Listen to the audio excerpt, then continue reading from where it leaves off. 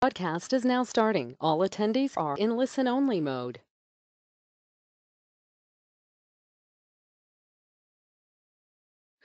Доброе утро, коллеги. Я надеюсь, меня э, слышно. Меня зовут Сергей Халяпин. Я являюсь главным инженером э, в российском представительстве компании Citrix Systems.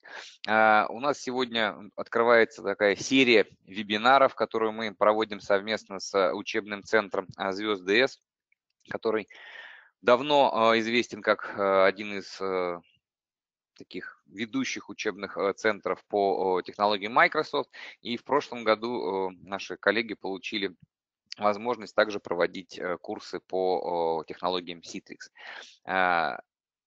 Темы, которые мы хотим затронуть в наших вебинарах совместных, это вопросы безопасности. Сегодня мы начнем с настройки TLS, где есть возможность в рамках XenDesktop все коммуникации защитить в том числе и внутренние с помощью TLS. А в принципе мы планируем также рассказать о различных видах аутентификации, об использовании смарт-карт, многофакторной аутентификации, использования SAML в рамках XenApp и XenDesktop. И надеюсь, что мы также привлечем наших российских коллег-разработчиков и сможем также рассказать о использовании российской криптографии, ну, соответственно, а если вы э, живете не в России, то если у вас есть э, свои разработчики а, криптографических решений, а, возможности использования этих криптографических решений вместе с решением ZenApp Zen Desktop. Сегодня мы построим нашу работу следующим образом. Я немного расскажу такую вводную информацию о том, почему это сейчас актуальная тема, как Citrix работает с вопросами, связанными с безопасностью, и дальше передам слово нашему коллеге Сергею Бочерикову, который с удовольствием расскажет и покажет, что немаловажно, о том, как настраиваются взаимодействие между разными элементами Citrix Zen Desktop с использованием протокола TLS. Мне для проведения вебинара будут также помогать мои коллеги-инженеры из российского представительства, Михаил Бульбутенко, Михаил Соболев и э, Леонид Майзенберг, они будут отвечать э, на ваши вопросы, которые возникнут в ходе вебинара. Ну, в конце э, мы все вопросы, которые не ответили по ходу, также озвучим, постараемся на них дать ответы. И поэтому я вас приглашаю не стесняться. Вот есть вкладка Questions в панели GoToWebinar, где вы можете набирать свои вопросы. А, предупреждаю заранее о том, чтобы таких вопросов, ну, скажем так, вы, конечно, задать их можете, но я а, всегда говорю о том, что наши вебинары, они записываются, и а, мы всем, кто присутствовал у нас на вебинаре, на следующий день или через день разошлем ссылку на вебинар, и, соответственно, на презентации, которые использовались в рамках вебинара. Если кто-то по какой-то причине будет вынужден уйти раньше, не переживайте, вы сможете потом эту запись скачать или посмотреть на нашем канале в YouTube и, соответственно, получить э, полную информацию, даже если вы э, были вынуждены покинуть э, наш вебинар по ходу его проведения. Ну, наверное, для тех, кто уже не первый раз с нами работает в рамках GoToWebinar, я особо, наверное, не буду углубляться в э, описание возможностей GoToWebinar. Э, еще раз скажу, что поле questions – это вопросы. Есть э, поле чат, если вы что-то хотите обсудить онлайн с презентерами, с организаторами вебинара. И еще одно пожелание мое и Сергея Бочерикова. Если вас интересуют какие-то темы, которые вы хотите прослушать в дальнейшем на наших вебинарах, пожалуйста, не держите себе, напишите нам, что вас интересует, какие темы вам интересны, что мы вам можем предложить, и мы с удовольствием постараемся вот эти ваши пожелания выполнить планах э, наших будущих вебинаров. Ну, в частности, вот э, одно из пожеланий, которое мы получали при проведении вебинара в прошлом году, как раз и заключалось в том, чтобы не только давать теорию, но и показывать э, на практике, каким образом осуществляются настройки решений и как можно делать те или иные вещи в рамках продуктов Citrix, Xenap, Desktop, ну и, соответственно, остальных если мы будем говорить о всей продуктовой линейке, там ZenServer, NetScaler, NetScaler SD-WAN и так далее. Итак, э, безопасные цифровые рабочие места и вообще почему тема безопасности сейчас э, очень актуальна. Ну, если мы посмотрим на то, что происходит вообще глобально в мире, то мы увидим, что огромное количество публикаций, огромное количество всевозможных э, новостных извещения, они связаны так или иначе с э, вопросами безопасности.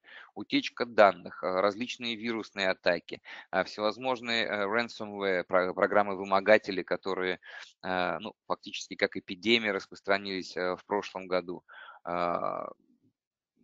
скажем так, одной из ключевых тем прошлого года э, была активно поднята нашими американскими коллегами тема о злобных русских хакерах, которые вмешались, по-моему, везде, э, куда только можно, везде, где есть э, хоть какое-то подключение, даже чайники электрические, и те обещали, что будут взламывать злобные российские хакеры. Ну, иногда это, конечно, перебор, иногда это, конечно, юмор, но на самом деле, если э, действительно откинуть вот эту всю шелуху и посмотреть на то, что э, реально происходит э, с информацией, что реально происходит с IT-инфраструктурой, то э, безопасность данных, приложений, безопасность доступа являются ключевыми э, задачами которые необходимо обеспечить э, службам э, информационных технологий, информационной безопасности совместно на предприятии. А, в чем а, проблема, если мы сравниваем текущую инфраструктуру с э, предыдущей, тем, что была там 5-10 лет тому назад? На самом деле а, за вот эти прошедшие 5-10 лет назад, 10 лет э, все достаточно сильно изменилось. Во-первых, поменялись рабочие места. Вместо привычных традиционных персональных компьютеров, которые стояли на рабочих местах пользователей, появилось огромное разнообразное количество устройств с различными операционными системами, с различными возможностями с точки зрения а, и безопасности в том числе. А, изменились сети, по которым сотрудники подключаются к корпоративным данным. Раньше, если это была а, фактически система кабельная, когда у нас каждый персональный компьютер по выделенному кабелю был подключен к некому серверу, либо к файловым ресурсам, то сейчас подключение может осуществляться по э, совершенно различным каналам и не только э, по проводным. Это всевозможные беспроводные сети, 3G, 4G, LTE, некоторые взаимодействия могут осуществляться в том числе и по Bluetooth. И здесь э, говорить о том, что мы можем сохранить те подходы, которые были раньше, которые фактически опирались на такой жесткий э, периметр безопасности, они э, перестали работать. Периметра фактически нет. То есть Одно дело, когда человек находится на территории предприятия с персональным компьютером, подключенным по кабелю. Другое дело, если тот же самый сотрудник э, с логином, паролем, с э, необходимыми ему credentials э, берет планшет, выходит за пределы организации, подключается по Wi-Fi либо по каналам сотовой связи, и, соответственно, получает доступ к своим приложениям. Что касается приложений, они также сильно трансформировались. Если раньше это были э, в основном Windows или для а, крупных а, организаций такие а, серьезные Unix-приложения, то сейчас это могут быть и э, различные контейнерные приложения, приложения, написанные под мобильные операционные системы со своими нюансами с точки зрения безопасности. Большой пласт приложений вебовских, которые чаще а, всего доступны не только как а, внутрикорпоративные приложения, но и в том числе по модели Software as a Service. Соответственно, те приложения, которые вообще вынесены за а, периметр организации, и, соответственно, мы со многими настройками с точки зрения безопасности в рамках этих приложений поделать ничего не можем. Ну, что касается данных, то, в общем-то, здесь э, точно такая же ситуация. Если раньше они в основном располагались либо на клиентских устройствах пользователей, а, либо на внутренних а, файловых а, серверах системы хранения данных, то сейчас это и различные облачные системы хранения, те же самые данные активно путешествуют внутри почтовых систем, они смешиваются с персональными данными пользователей, пользователи копируют э, различные корпоративные данные на отчуждаемые носители. И все это говорит о том, что традиционный подход к обеспечению безопасности, ну, мягко скажем, а, устарел или изменился. С точки зрения вызовов безопасности, тут, в общем-то, традиционные вещи. Это обеспечение защищенного доступа, особенно а, из э, внешних э, средств, внешних систем. А, появилась достаточно серьезная область, э, которая требует своего внимания, обеспечения безопасности мобильных устройств, мобильного программного обеспечения все, что связано с неуправляемыми устройствами, которые сотрудники приносят по программе Bring Your Own Device. Защита данных и интеллектуальной собственности – это, в общем-то, та задача, которая была всегда. А, это то ПО, которое компании разрабатывают, э, пишут самостоятельно. Это те данные, которые составляют, ну, наверное, такой цифровой отпечаток, цифровой ДНК компании. И, соответственно, утечка этих данных может не то что серьезно повредить, но может иногда и уничтожить э, компанию как таковую, а, особенно учитывая тот объем денег, тот объем ресурсов, которые были вложены на э, создание вот этой вот э, цифровой интеллектуальной собственности. А, в последнее время э, наши государственные органы, я имею в виду наши с точки зрения разных стран, то есть и здесь и российские, и европейские, и американские регулирующие органы также активно играют на рынке информационных э, технологий и информации, принимая определенные законодательства, которые являются обязательными для выполнения э, всеми компаниями, которые работают на том или ином рынке. Это и э, российские законы по защите персональных данных и защите критической IT-инфраструктуры, это и европейский GDPR, и американские законодатель, американское законодательство в разных областях финансового здравоохранения. Все, что касается обработки и а, перемещения а, данных а, между компьютерами, между различными информационными системами. Ну и в частности, в частности к области информационной безопасности также относятся задачи, связанные с обеспечением непрерывности бизнеса. То есть как быстро бизнес сможет восстановиться после атаки различных вирусов, зловредных приложений, как компания может себя защищать от э, атак отказа в обслуживании, распределенных атак отказа в обслуживании, что э, компания будет делать э, в случае тех или иных природных катаклизмов, либо техногенных аварий. Все это фактически влияет на то, насколько быстро компания сможет восстановить свою работу. Если посмотреть на историю создания, формирования безопасности цифрового рабочего места, то на самом деле Здесь э, немаловажный э, элемент – это аутентификация, авторизация, это все, что связано с контролем доступа и э, идентификацией. Также активно развивались направления, связанные с сетевой безопасностью, безопасностью приложений, данных, и в последнее время сюда активно добавляется мониторинг, то есть возможность смотреть, что происходит в системе в режиме реального времени и проактивная реакция, то есть э, принимать какие-то действия задолго до того момента, как они нанесут э, серьезный ущерб организации. А, то, что делает э, Citrix в рамках своих продуктов, это подход, ориентированный на а, обеспечения э, защиты пользователя, где есть централизованное управление политиками, есть э, аналитика и понимание того, что сотрудник делает, с чем он работает, как он работает. Фактически Citrix э, позволяет здесь построить так называемый программно определяемый периметр вокруг того, скажем так, чем мы не сколько можем управлять, но тем, что мы можем контролировать.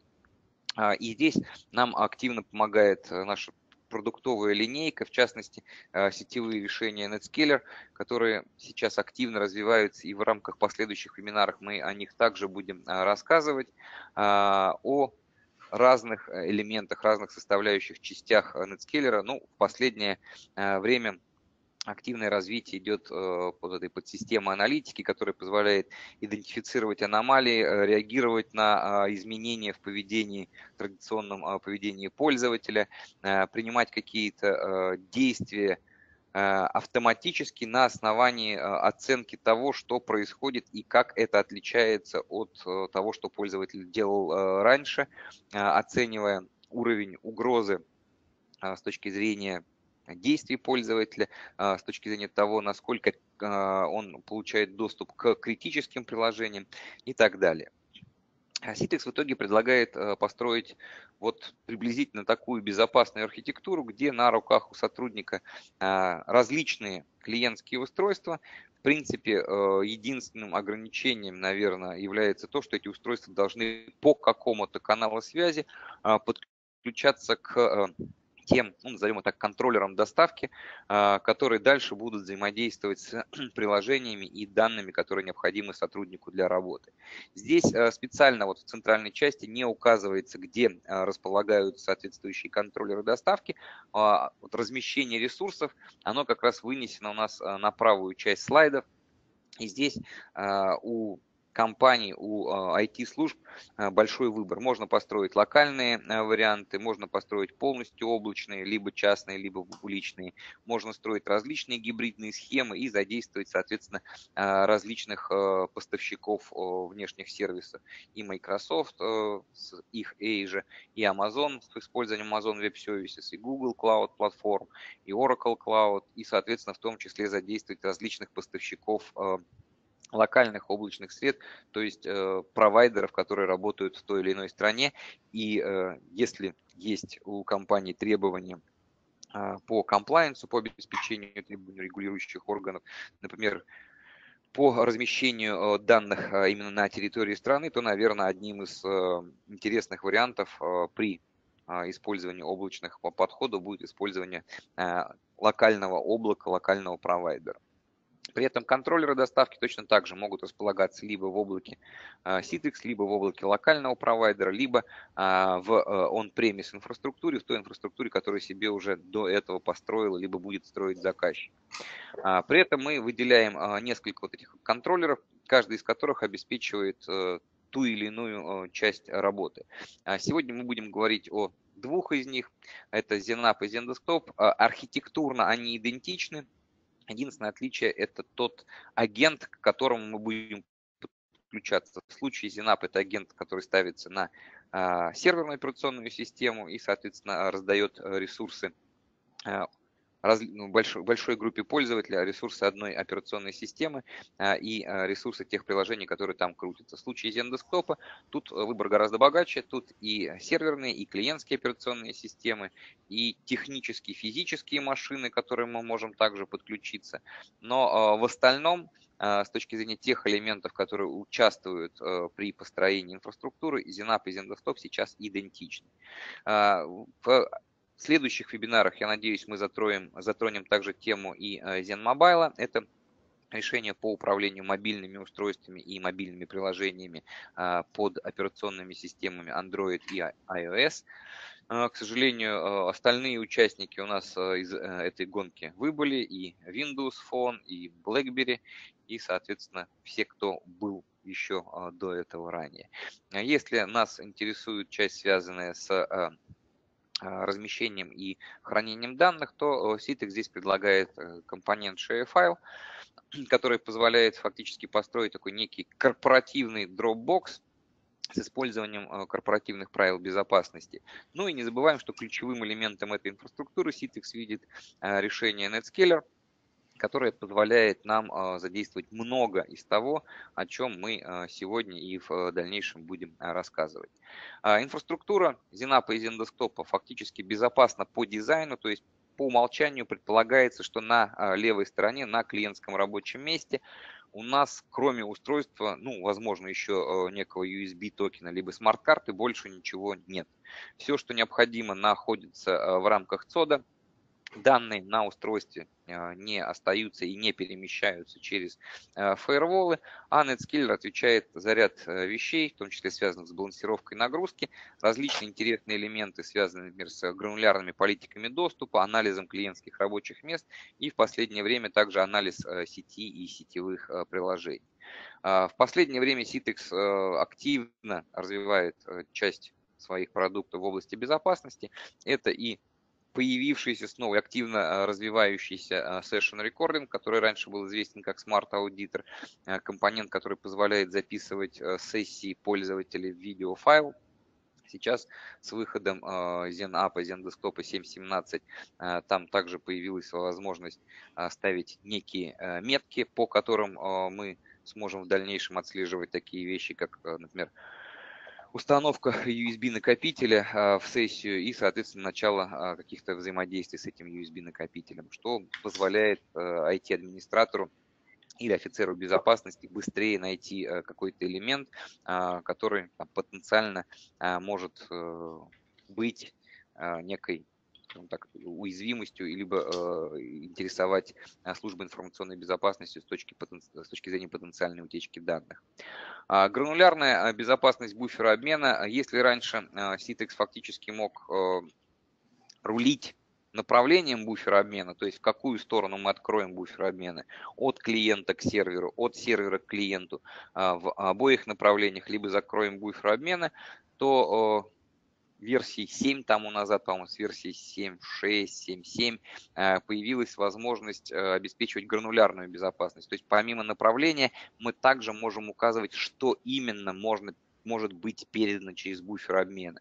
Например, от пользователя к серверу только текст, а от э, сервера, то есть от того приложения, которое крутится в терминальной среде от виртуального или от виртуального десктопа, на клиентское рабочее место мы можем а, через буфер обмена передать только картинку. Это все настраивается централизованно с точки зрения именно политик, применяемых а, на а, десктоп Delivery Controller.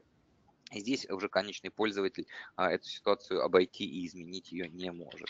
Ну и вот то, о чем сегодня Сергей а, будет рассказывать, это по желанию информационной безопасности можно обеспечить сквозное шифрование всех а, элементов взаимодействия. То есть если в основном а, многие компании обеспокоены тем, что у них, чтобы у них вопросы шифрования а, приходились вот на левую часть этого слайда, рабочее место, подключающееся к шлюзу Netscaler а, через недоверенные сети, то а, в ряде организаций а, служба информационной безопасности идет дальше и говорит, что нет, с точки зрения правил, политик, нам требуется, чтобы все элементы между собой взаимодействовали по зашифрованному каналу. Это и гейтвей со сторефронтом, и сторефронт с контроллером, и, соответственно, дальше рабочее место с конечным VDA, к которому э, будет этот э, сотрудник подключаться.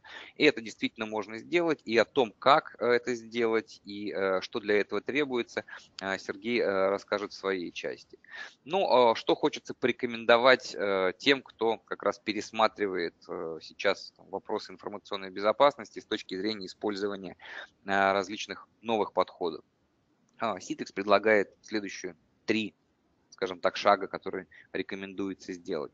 Во-первых, э, упростить безопасность. Чем э, система сложнее, тем ее сложнее поддерживать, тем больше шансов ошибиться где-то в настройках, в элементах взаимодействия, и это э, откроет злобным хакерам, русским, корейским, иранским, кубинским, американским, африканским, не суть важно, доступ к вашей системе. Упростить безопасность мы предлагаем, перенеся усилия информационных, служб информационных технологий э, с конечного устройства на уровень, который не зависит от специфики, то есть на уровень дата-центра, где мы можем централизованно применять политики и постараться сделать так, чтобы на устройстве у нас ничего не хранилось э, важного с точки зрения приложения данных и э, не оставалось.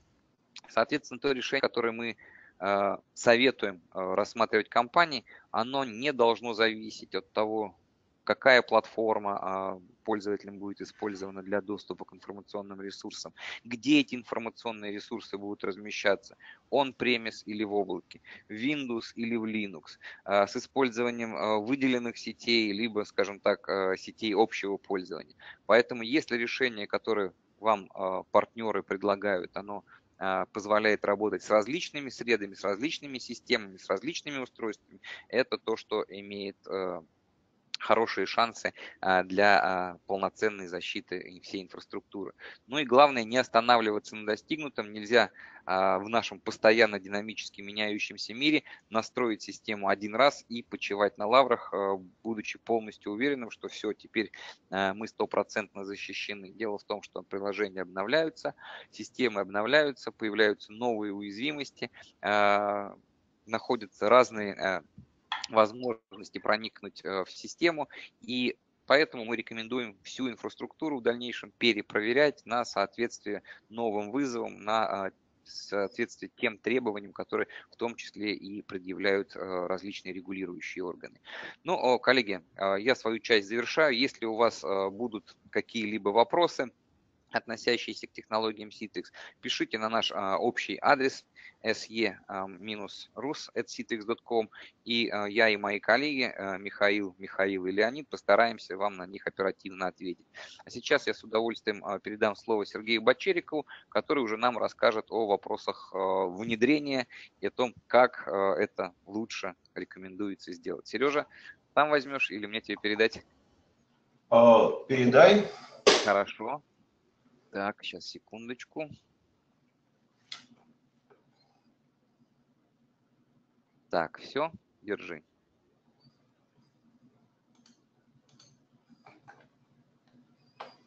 Всех приветствую. Картинку видно? Да, да. То, что нужно, да? Угу. Окей. А, всех приветствую. А, переходим к практической части нашего а, вебинара, а, собственно, о том, как можно организовать защищенную инфраструктуру внутри сети для зендостопского решения и, и вовне с использованием Netscaler. Сразу пару слов о том, что мы будем и не будем сегодня делать мы не будем разбирать какие-то сложные вопросы. Сереж, а, а, да. Сереж, извини, пожалуйста, а, слайд э, это с PDF, который э, нужно, чтобы нет, были? Нет. Вот. Секунду, тогда перевешу.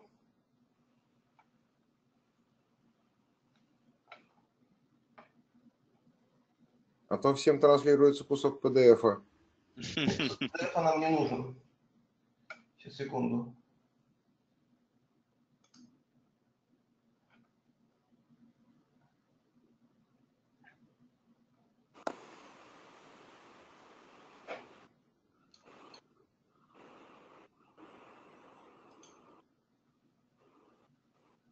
О.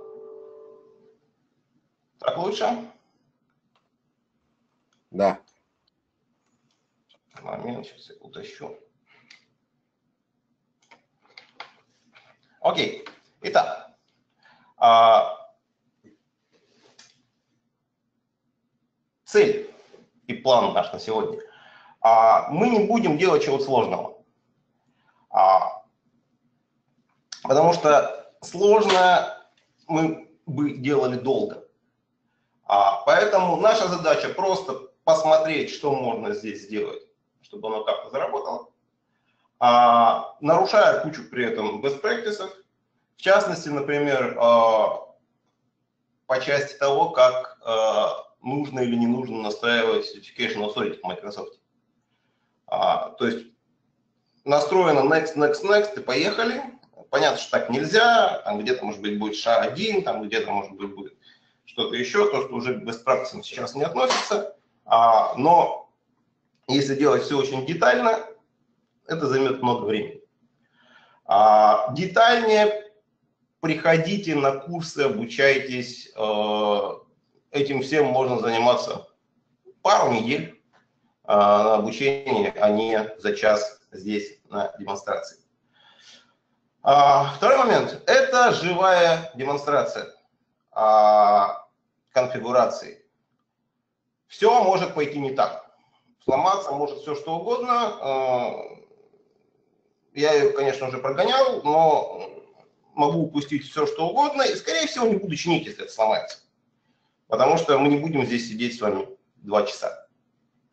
А, так что учитывайте это. Обычно э, опасно так делать, но я не Citrix, мне можно, я учебный центр, наша задача как раз посмотреть, а, в частности, где что можно сломать, почему нет. А, материалы этого а, вебинара а, собирались из нескольких курсов. а, ну и не только, чего-то от себя добавлено. А базовое администрирование а, Citrix, курс XD 210, относительно новый, прошлого года, а, который кое-что из этого содержит. А, еще некоторые настройки по безопасности имеются в курсе 310, который называется Advanced Administration. Там их не так много, они тоже есть.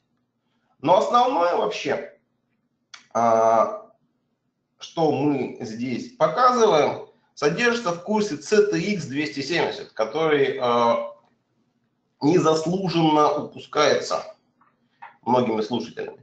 Это большой комплексный курс по безопасности цитриксовых решений, в котором, ну, в частности, покрывается все, а, что мы будем показывать здесь и много еще другого, и там можно со всем этим поиграться, попробовать а, и разобрать в деталях. Так что не смотрите, если что-то делаем, срезая углы, и не смотрите, что сломается. Все может пойти а, нестандартным образом. А продукты, которые мы используем. Главное ломать не на продуктивной среде. Это как раз вот да, это хороший. Да, это компьютер, который у меня в соседнем э, стоит э, кабинете э, лабу по Citrix для таких экспериментов можно вполне спокойно собрать на компьютере с 32, гигабайтами памяти. Все туда укладывается, все прекрасно работает. А, значит, продукты, которые используются. А, XenDesktop 716, NetScaler 12 последнего билда. Э, я хотел записать в слайд какой конкретно билд, но забыл, простите. А, тот, который сейчас актуальный. Zen Server 7.3, тот тоже, который сейчас актуальный, Windows 10, Windows... Актуальный сегодня 7.17 и 7.4, они вышли вчера.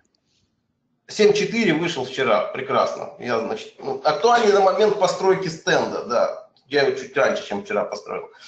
А, соответственно, Windows 10, Windows Server 16 и SQL Server 16. То, что у нас здесь развернуто. А, окей. С чем вообще мы будем работать здесь? А, вот схема простейшая цитриксовой инфраструктуры со всеми соединениями, которые будут а, в ней присутствовать. У нас есть какие-то внешние устройства, а у нас есть какие-то внутренние устройства, внешние вот тут за фаерволом обращаются через NetScaler, внутренние соответственно, во внутренней сети. А, Storefront, Delivery Controller системе, VDA, то есть агент. А, у меня это одна машина а, с Windows, по-моему, 10 просто. Просто машина, а, которая одному пользователю. Пользователь у меня единственный а, на весь домен, называется администратор. А, и компоненты, с которыми взаимодействует контроллер, соответственно, SQL база, license сервер, потенциально гипервизор. А, единственное, что у меня в лабе не используется license сервер и гипервизор на практике, потому что лицензию может не ставить, работает да, а, в грейс-периоде. И гипервизор у меня там тоже с контроллером не завязан, потому что нет необходимости. А, и наша задача здесь по максимуму, я не знаю, насколько а, мы ее реализуем по времени, а, сделать все эти стрелочки, которые здесь нарисованы, SSA. TLS, если быть точным. То есть какие-то из них делаются достаточно просто, и какие-то из них мы разбирали, все разбирали всегда. А какие-то чуть сложнее. Не супер, не страшно, но несколько сложнее.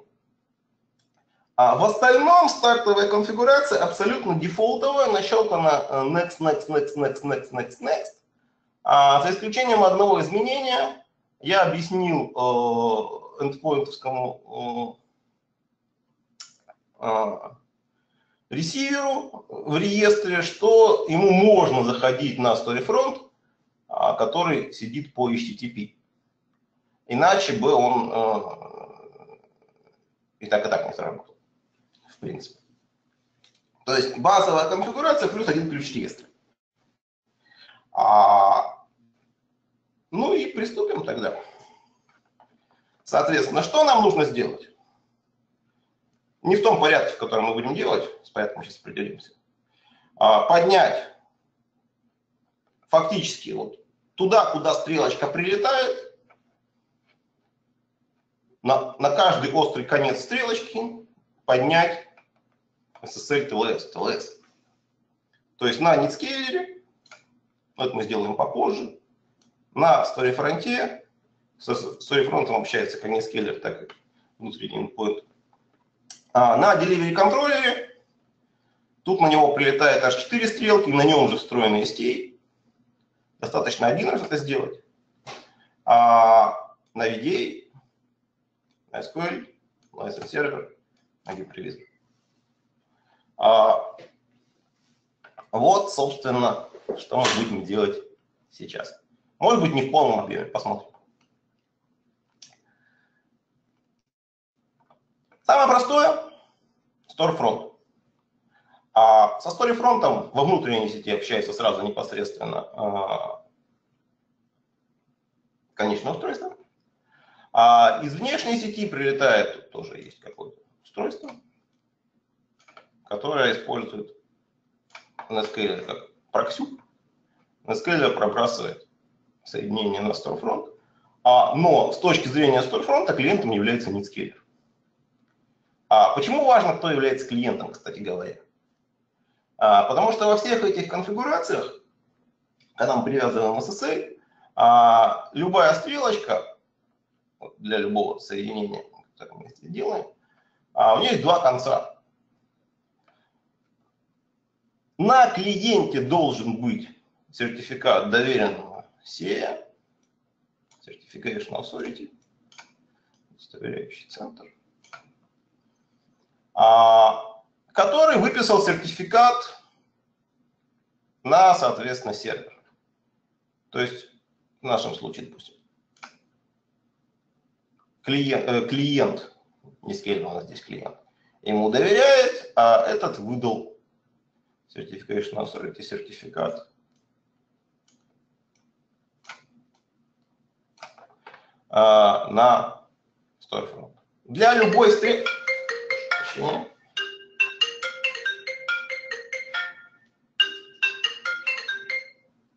Для любой стрелочки, э, которая а, у нас на схеме нарисовано, это должно быть. У нас есть единый сей, уже развернутый, которому, я надеюсь, что доверяют все. Я вроде всем сказал, чтобы они ему верили. А, с доменными все легко. А, с внешним устройством надо было еще ему это объяснить. Окей, поехали. Начинаем с Storefront. Вот у меня сразу internal система. Упс.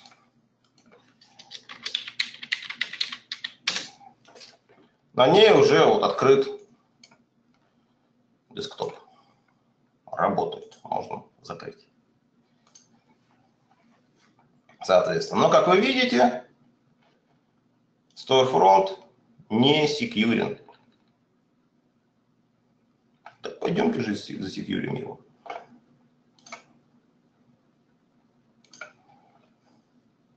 Самая простая часть. Опять.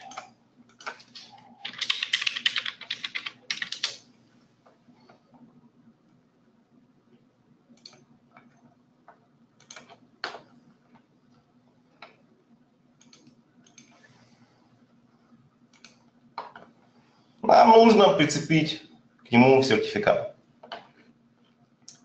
Идем в X.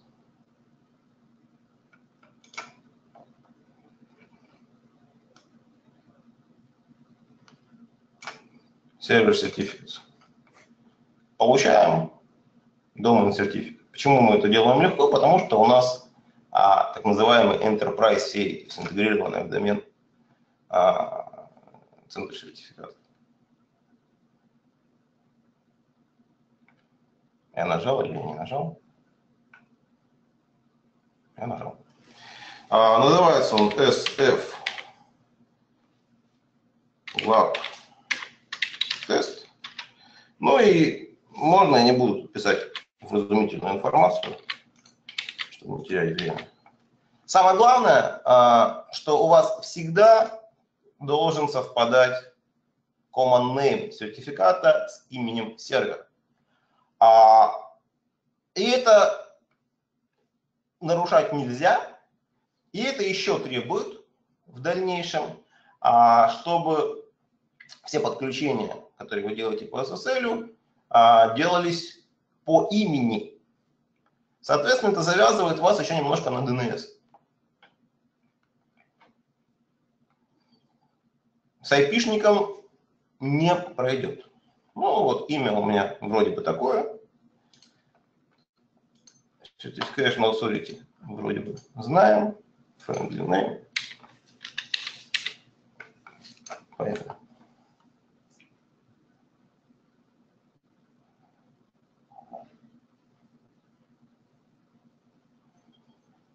Я привязал сертификат к Storefront. Если я сейчас на него пойду, а, надо еще прибиндить, конечно же. А, в ИИСе добавляем бандинг, тут у меня вот HTTP бандинг. А, делаем привязку HTTP протокола, выбираем тот сертификат, который привязали. Окей. А, чтобы сделать жизнь себе сложнее, я уберу привязку HTTP. А, это добавит мне веселых багов сейчас. Вот так. Я убрал 80-е до 443. Как оно в принципе должно быть? Интересно, заработает оно после этого или нет. Я ставлю на то, что нет. А, вот с аудиторией интереснее, а, с живой. Кто знает почему? Попробуйте написать в чат. Может, кто-то угадает. А Центрик сам призы. Про призы я пошутил. Не бейте меня. А... Давайте посмотрим. HTTPS.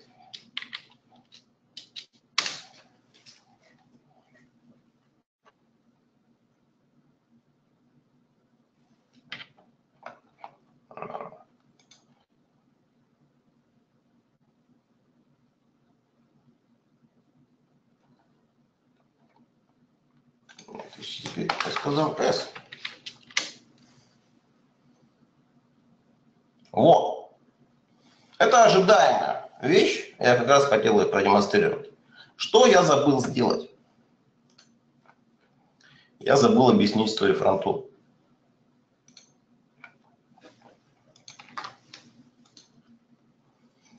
Я переделал ему сервер, а он об этом не знал.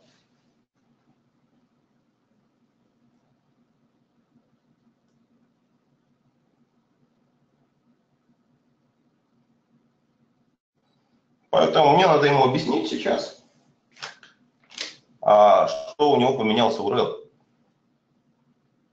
Вроде бы это мелочь, а зачем ему? А, на самом деле здесь есть тонкий момент. Дело в том, что StoryFront обращается сам к себе по HTTP или HTTPS. И если он не знает, где он там есть, а, вот он не сможет. И вы увидите такую ошибку, которую вы сейчас пронаблюдаете.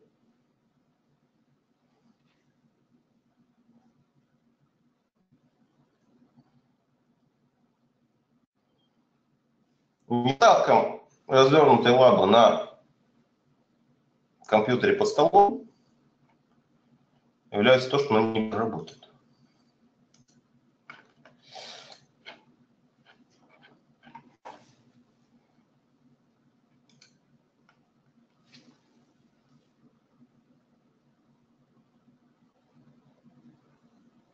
Ну,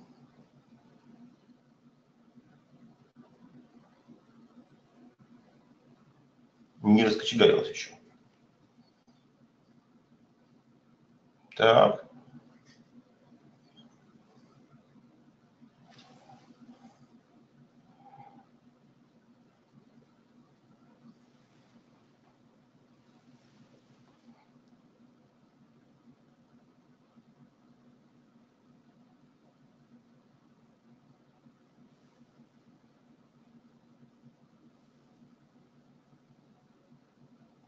Так, ладно, пока она стартует,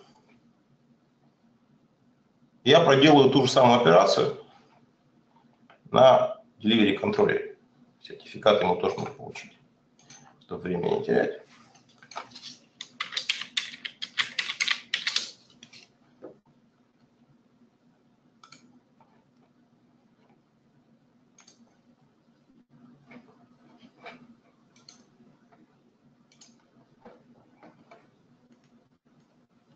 Можно не объяснять, ничего нового. Сервер называется DTC.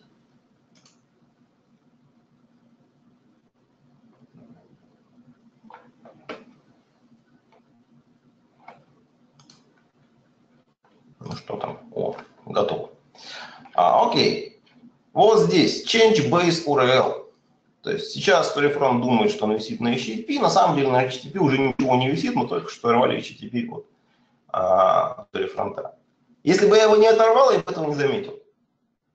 И оно могло бы сработать. У меня, у меня бы не было этой ошибки. Но как только я начинаю делать для Storyfront load балансировку или вот что-то подобное тому, что я делаю сейчас, это становится важным. Сделал. И здесь еще есть один тонкий момент – который, скорее всего, править мне здесь не нужно будет.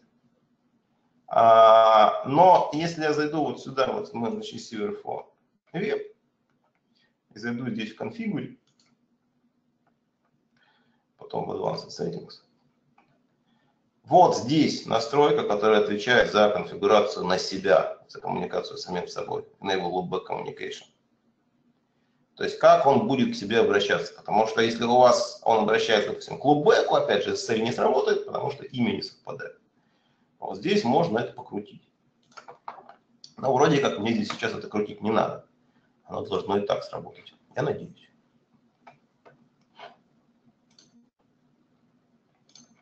Попробуем.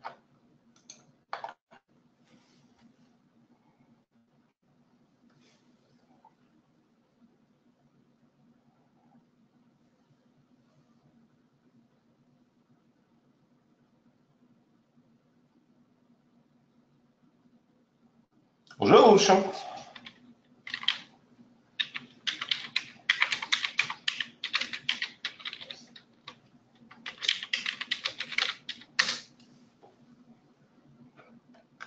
Есть какой-то десктоп. Ну, я каждый раз потом не буду проверять, что оно запускается. Сейчас один раз проверю. Ну, запускается. Теперь одну стрелочку мы сделали сейчас секьюрно.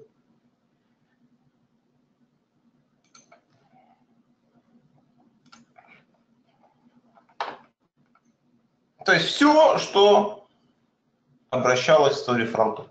Окей, едем дальше. Delivery контроллер. А к delivery контроллеру обращается много кто. А к delivery контроллеру обращается StoryFront, к delivery контроллеру обращается delivery агент. А, и также на delivery контроллере, там на нем сбоку, а, но в том же, как бы сказать, SSL профиле, а, EIS профиле, привязан так называемый STA. STA необходим для функционирования Scalar Gateway некоторых режимов. А, и он должен быть, а, не вдаваясь в подробности. А, и подключение к нему тоже должно быть секьюрным. Там а, особо критичной информации не передается, но может передаваться информация достаточно для того, чтобы перехватить сессию. А, поэтому подключение к STE тоже должны быть секьюрными. Надо понимать, что они из разных мест происходят в фронта. А, подключение к ST, подключение, собственно, к XML-сервису контроллера. А, но сертификат вешается один на все. Ну и кроме того, на контроллере регистрируется delivery агент. Соответственно, сделаем это на контроллере. Окей, DDC, uh, log, тест. Получаем сертификат.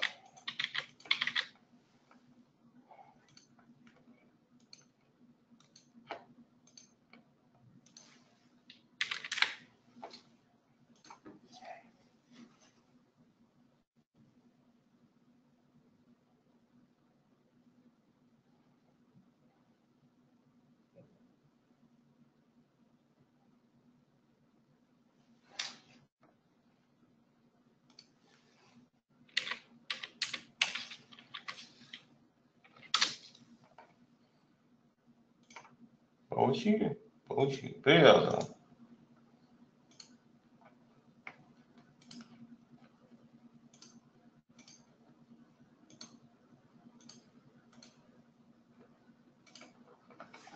Я пока не буду 80 отвязывать. А, дальше. Объясняем delivery контроллеру, что ему нужно использовать цель.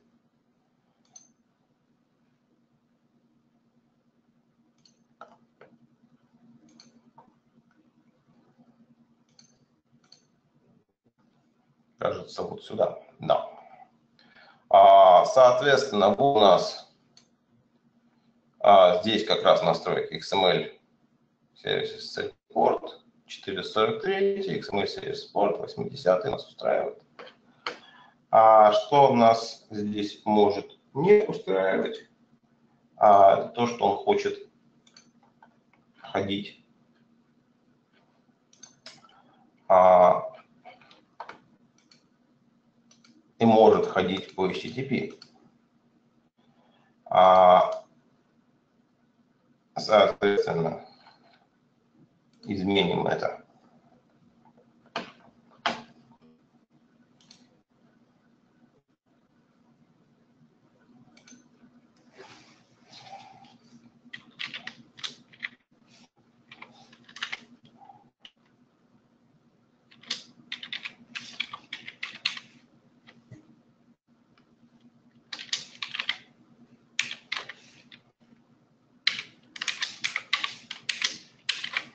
Как-то так.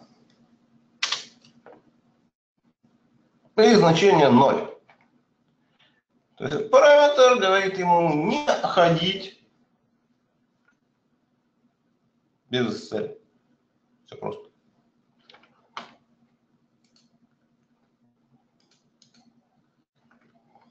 Окей. Окей. Окей. А, так, бандинг. бандинг.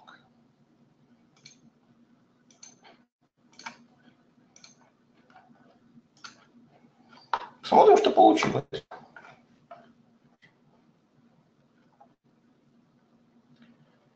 Что получилось? Что получилось?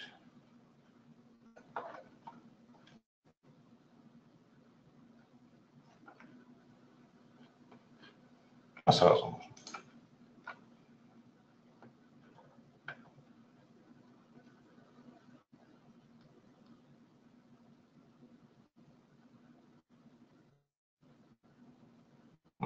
Его рестартануть или не надо? Хороший вопрос.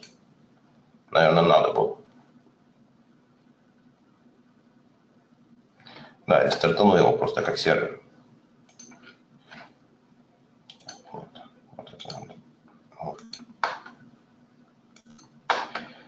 Надо было рестартануть. А, где он? Вот он. Вот он. Поехали. А, пока я стартую, ну понятно, что не заработает. А почему он не заработает? По очевидной причине. В StoryFront не указано, что на delivery контроле надо ходить по SSL. Давайте укажем. EDC Lab Test HTTPS.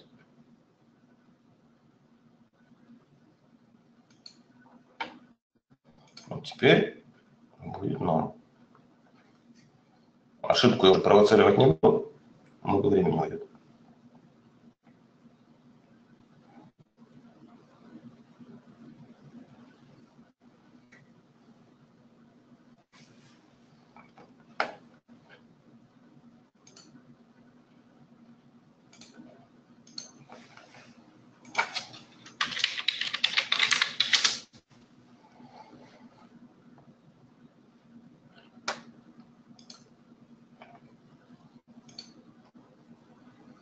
Так, если студия быстро стартанет. Хотя.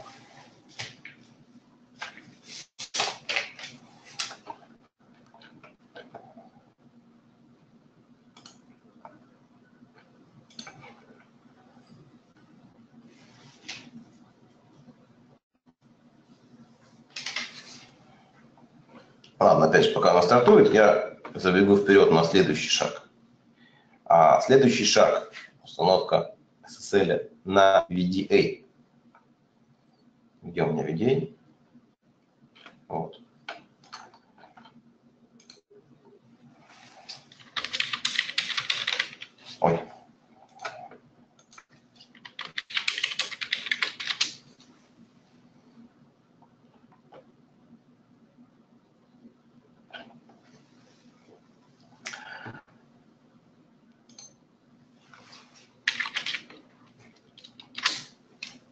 Силовой консоли, думаю, можно не объяснять.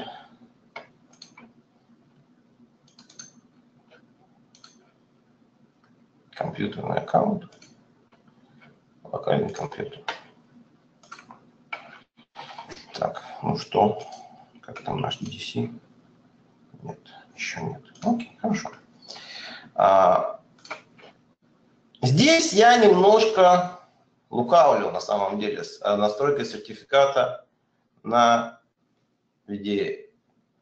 Потому что у меня развернута машина, это в режиме существующей машины, а, в режиме установки Remote PC. То есть это просто компьютер, без всяких МЦСов и без ПВСов и без всего подобного, без авторазворачивания машин.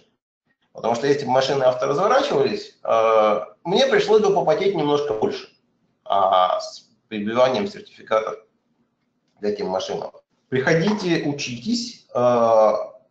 Возможно, там потребуется автоэнрол. Понятно, если у вас машин каталоге, там, не знаю, 5000 компьютеров, подключение к ним должно быть зашифровано SSL, а, соответственно, на каждом из этих 5000 компьютеров должен быть сертификат. Понятно, что вы не будете его прибивать вручную, так как я сейчас делаю. А вам нужно будет прибить какой-то скрипт, который получит его Certification Authority динамически. А, возможные варианты, автоэнрол какой-нибудь.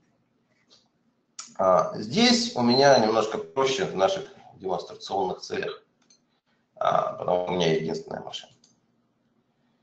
Так, сертификат. Сертификат. Хочу сертификат. Сейчас посмотрим, заработал у меня DDC. Заработал у меня DDC. А, хотел, да, DDC заработал. А, ну, что само по себе говорит уже о том, что я, в общем, пока еще ничего не сломал. А, я хотел вот это.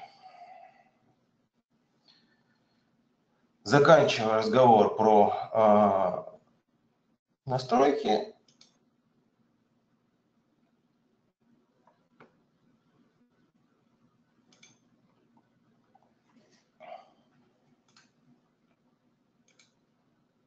Вот это. Это тоже немножечко добавит шифрование.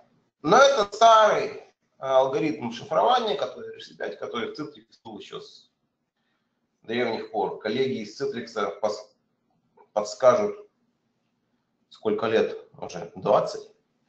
А, его, в принципе, не помешает включить. Хуже от этого не будет. Сильно лучше тоже, потому что основное, что мы будем делать, э, это вот э, следующие операции, э, привязывание ТЛС к идее. Вот это вот недостаточно. Ну, давайте сделаем, не жалко.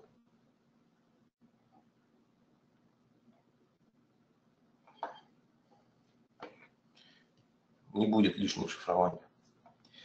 А, окей, так, где-то моя машина. Даже не машина, да. А, поскольку у меня работает консоль, у меня работает вроде бы там машина, ну, проверим мы дальше потом. А,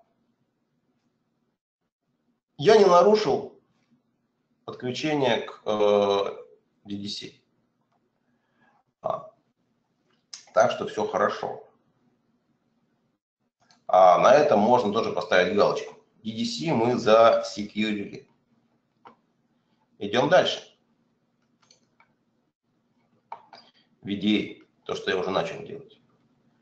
А на нем должен быть сертификат. Обратите внимание, что к VDA подключается не только endpoint и NetScaler, как а, прокси для endpoint, но также и delivery контроллер. Они общаются в обе стороны. Давайте дорисуем. Здесь у нас external клиент потенциальный. А delivery контроллер пинает VDA, VDA пинает delivery контроллер. Но delivery контроллер мы уже полечили. Storyfront здесь не нарисован, VDA давайте полечим.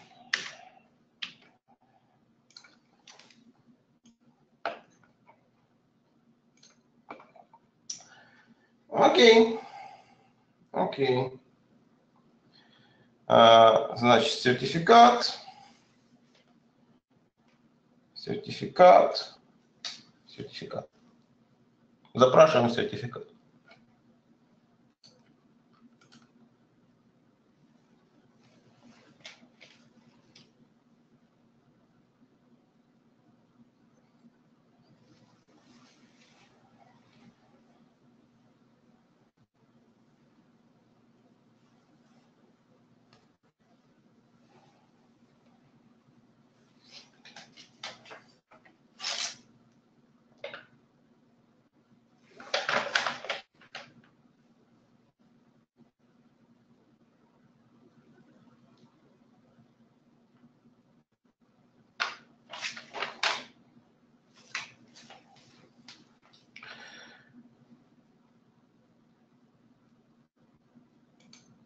Получили. Никуда не убегаем, потому что это еще не все. Нам нужно кое-что от этого сертификата, а именно вот это. Вот это число, его отпечаток мне нужно сохранить. Я его засунул себе в буфер. Окей.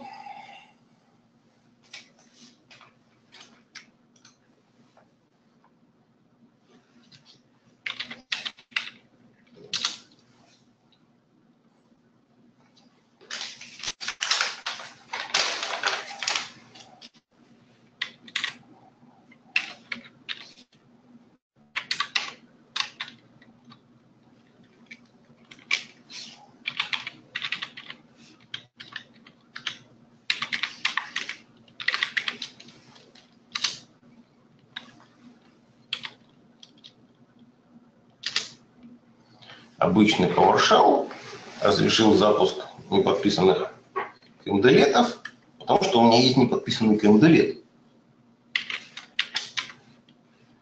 А, где-то там лежит. Черт, что было?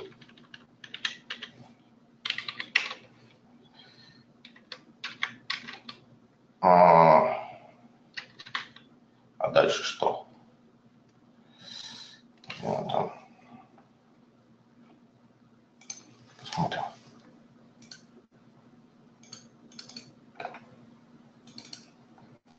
Enable в идее SSL. Вот такой вот KMD Откуда я его взял? Я его взял с дистрибутива Zen Desktop. Вот он у меня здесь. а, есть. А KMDLED, который включает SSL VDI. Я его не написал. Enable VDI SSL. А, наверное, надо сказать ему enable.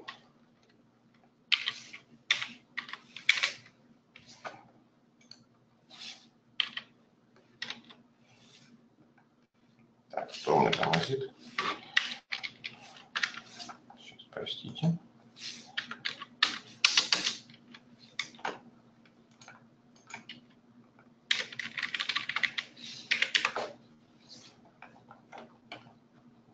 Консолька приболела.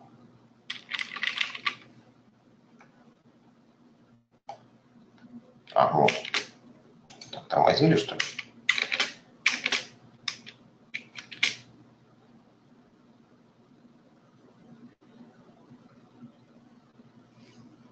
Вот видите, если что-то может пойти не так, а вот и пойдет не так, конечно, почему он тормозит.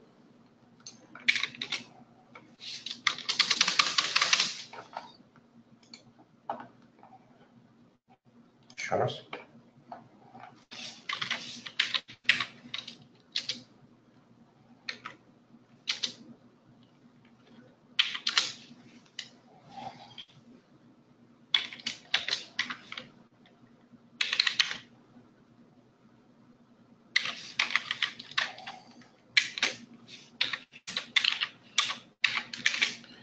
Enable. А, можно задать SSL Suite, можно задать минимальную версию SSL, я, наверное, не буду это делать. А, SSL порт.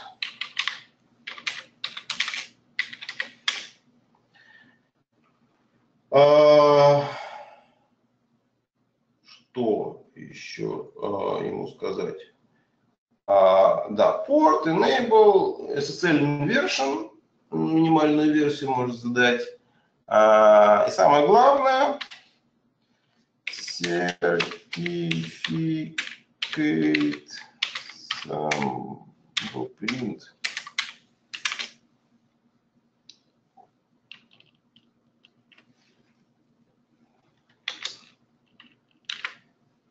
Вот так. Короче говоря, таким образом я привязываю свой сертификат с целью на видео. Сертификат, полученный а, вот только что, причем именно этот. Ну, это будет или нет? Не быстро.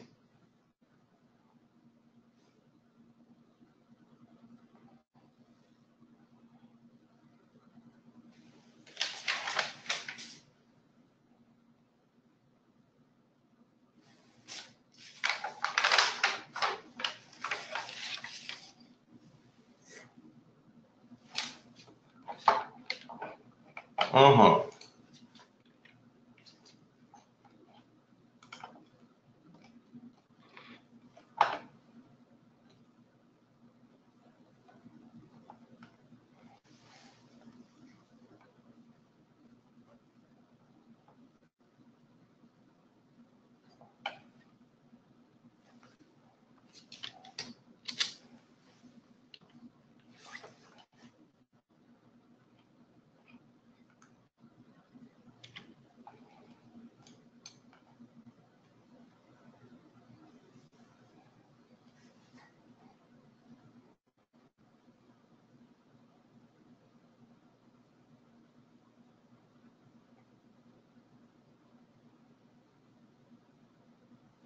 Так, ладно, пока оно там тормаживает, я опять забегу на шаг вперед.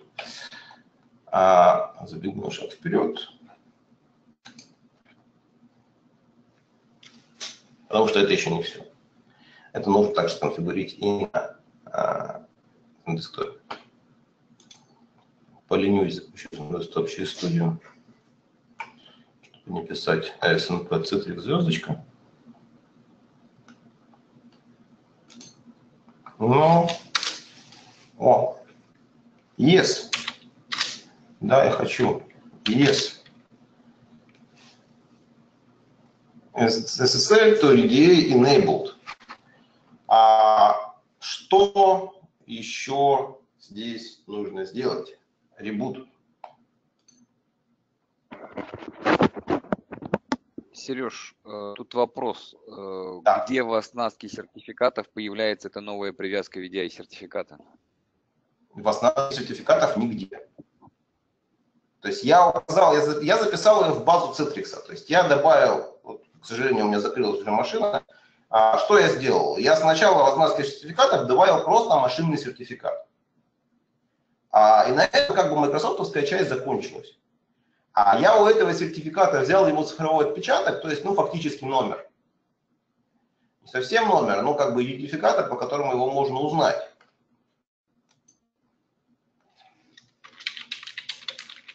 Ой.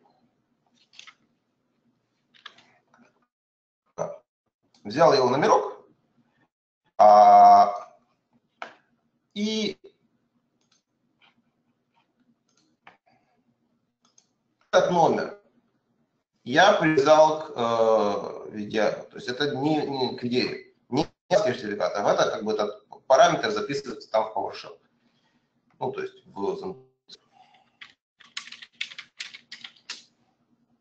Надеюсь, что ответил на вопрос. Если, если что, докиньте еще, если что непонятно. Я сейчас покажу еще раз.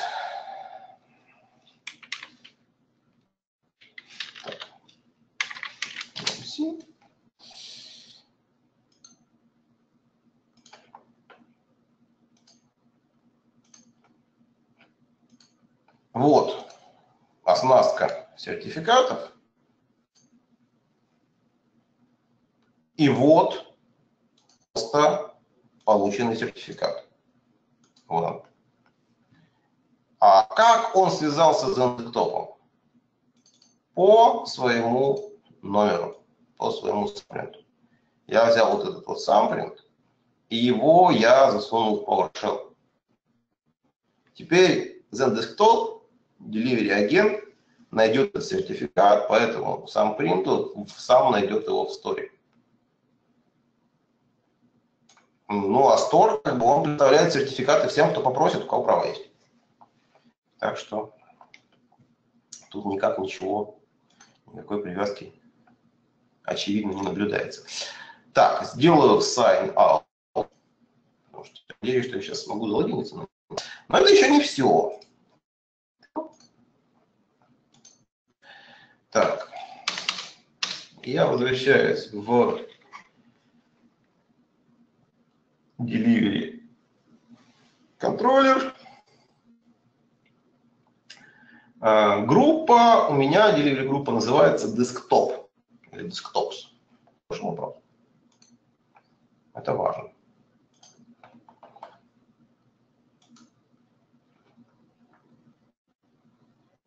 Desktop. А, Соответственно, а, смотрим. Get Here access policy rule desktop group name desktop вот так вот смотрим сюда и видим вот такое то, что для этой группы сейчас HDXSL на десктопе выключен. Соответственно, ну, понятно, нужно что-то с этим сделать. Надо с этим что-то сделать.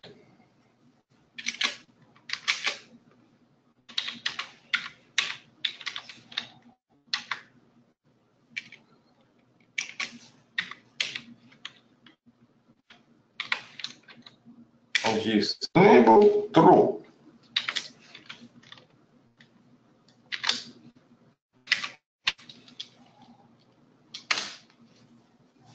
Типа того. Проверяем. HDX SSL enabled true. Воистину. А, сделали. Ну и еще кое-что. Set broker. Я так сделал.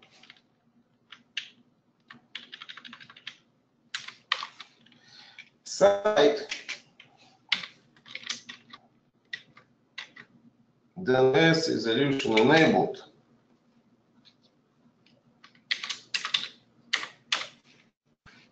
True. Промахиваюсь по кнопкам.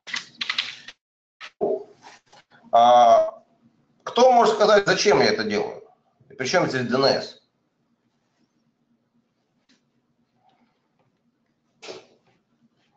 Совершенно верно. Потому что SSL. А если SSL, значит ходить нужно по имени, потому что прибывать мы будем имя. Нужно объяснить, что нужно ходить на э, A теперь по имени. Куда пойдет это имя? Только файлик. Файлик будет прилезать не айпишник, а имя. Окей. Что-то типа того. А если я нигде пальцами не накривил, у меня должно случиться добро.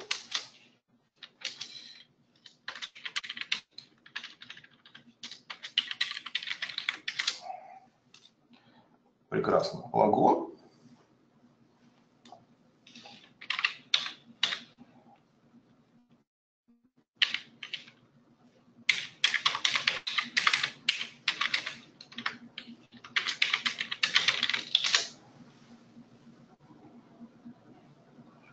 десктопчик, запускаем.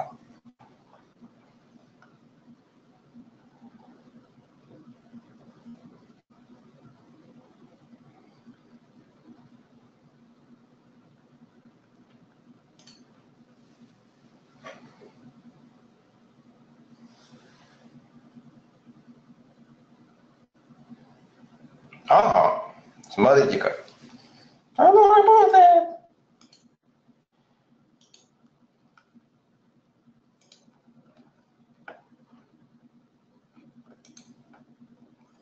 DDoS.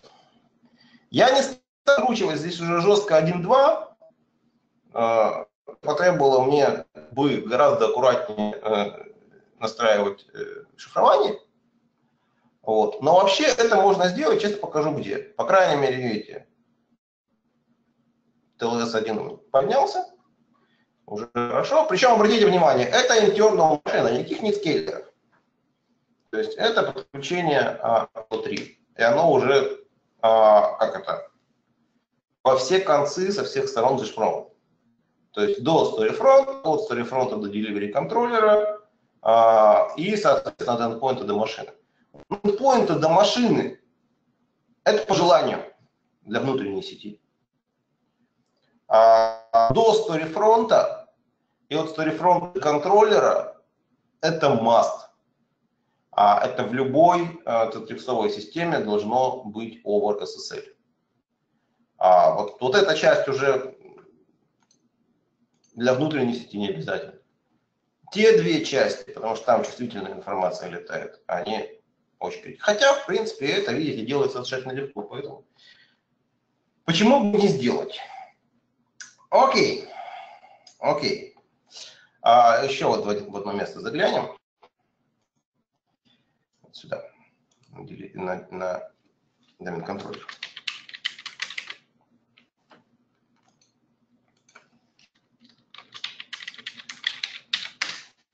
Если потом вам захочется накрутить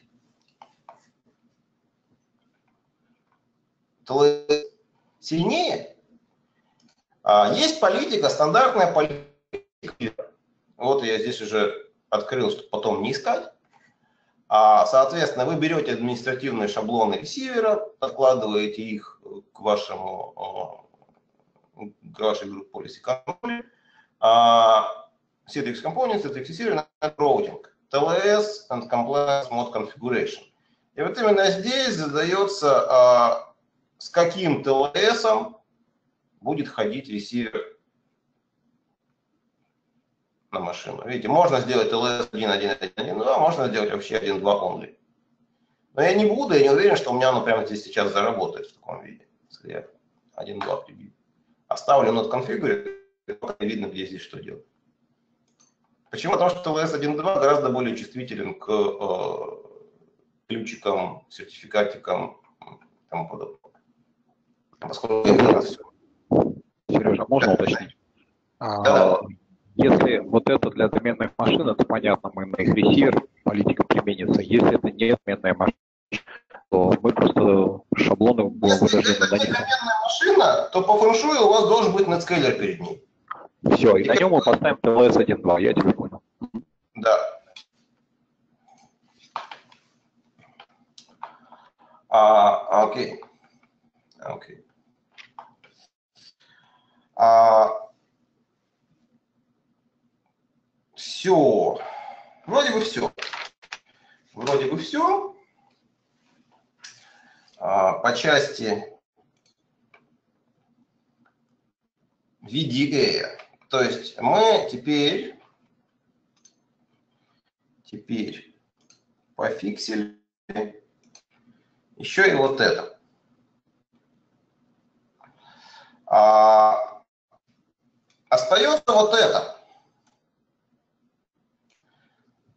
То есть работает, давайте дадим тут те же самые возможности, вот как к вопросу, который только что был, а как насчет внешней машины, а нет скиллер. А. На 50% э, он у меня настроен там, а, потому что с нуля это долго и мучительно было бы. Не мучительно, но долго. Вот, поэтому у меня есть нескиллер. Скорее всего, уже нет. Да, уже нет.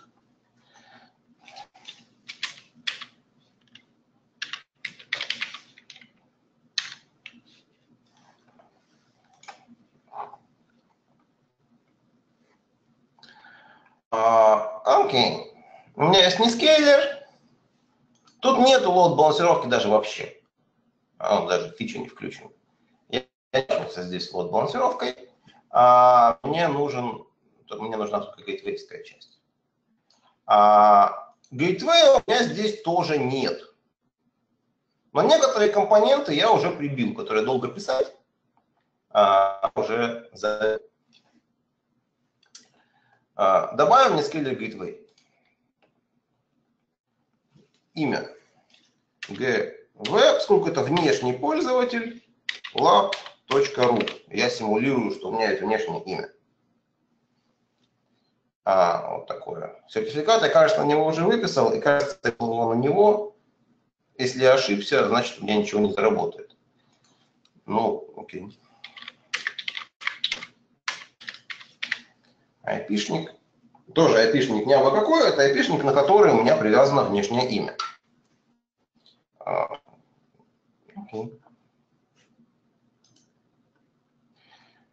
Сделал gateway. Сколько gateway будет, видите, работать по 443 порту, вот без этой штуки он работать не будет. Must be. И он у меня есть. GV Labruta. А он у меня уже есть, он заимпортирован. А, и под сертификатом на Netscaler не такое маленькое количество кликов происходит, как на ИИС, поэтому я эту работу уже проделал. То здравствуют в вашем случае младшие инженеры, которые все эти грязные действия сделают до вас. А вы будете делать самое, самое, самое, самое интересное. А большую массовую работу. Окей, сертификат прибили. Дальше. Аутентикация. Добавим аутентикацию. Basic. Это basic как э, там, HTTP basic. Просто у NSQL есть еще и навороченные всякие способы. А мы о них поговорим на следующих вебинарах, если, если вам вдруг будет интересно. Хотя нет, вру, мы так на них поговорим, даже если вам не будет интересно. LDAP, и нам нужна LDAP policy. По-хорошему опять надо здесь нарисовать, но она у меня уже нарисована. А, выбрал. Вот, bind. Привязал LDAP policy. Ну, сейчас в нее загляну еще. То есть я увязал свой э, своим домен контроллером, чтобы он мог пользователя идентифицировать. А, нет. Вот, видите, вот тут Advanced Authentication, мне не надо ничего.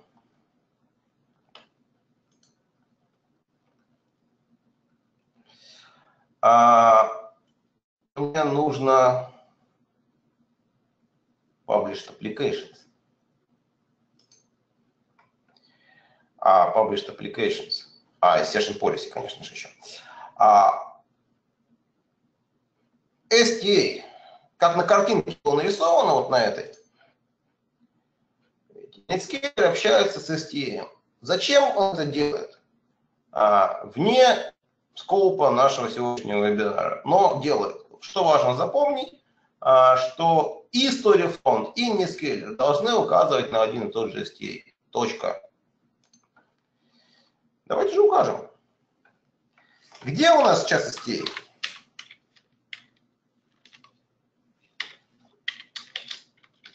Там же, где контроллер. То есть теперь это будет HTTPS.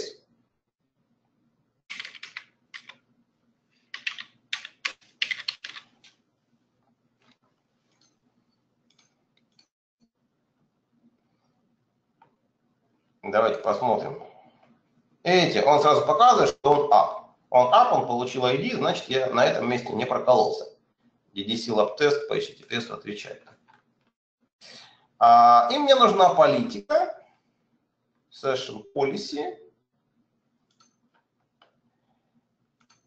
А, уж тоже есть, я тоже прибиваю. Сейчас покажу их. Что у меня в session policy? Давайте посмотрим. В session policy у меня привязывается профиль. А в профиль у меня настройки, собственно, десктоповские. А, и для минимальной работы Gateway мне нужно следующее мне default allow, это и так, мне нужно ica proxy on и указать адрес веб-интерфейса, причем с стором. Куда будет перебрасывать юзера после логона на Netscape? Перебрасывать будет на StoryFront по HTTPS, потому что у нас сейчас все по HTTPS. А, окей, значит, профиль есть policy есть, policy bind. А, так, LDAP policy есть, сервер сертификат есть, а, сервер policy есть, STA есть. Чего нет? Неплохо бы ткнуться вот сюда и выключить зло. Вот зло. Выключим зло по, по, по желанию можно вот и вот это тоже все покрутить. Но я не буду рисковать, потому что я уверен, хорошо ли я сделал Certification Authority. Вот. Надо больше времени, чтобы красиво LSM 1.2 работал.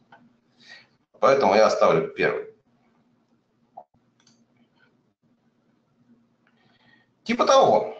Вроде все.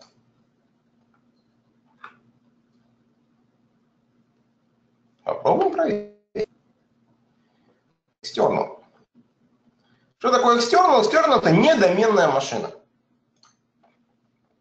А, так, какой MSN? Соответственно, HTTPS gv lab.ru. Внешнее имя, которое привязано к внешнему айпишнику. Во-первых, у нас не внешний, но это не важно. Во-вторых, надеюсь, что заработает. А, не заработает, а что она не сделала?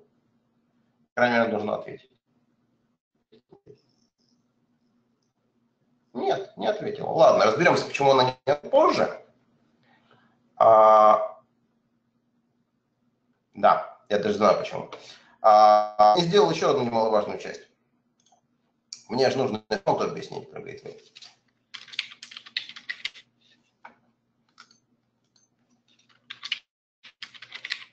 Из этого лучше не начинать. Вот.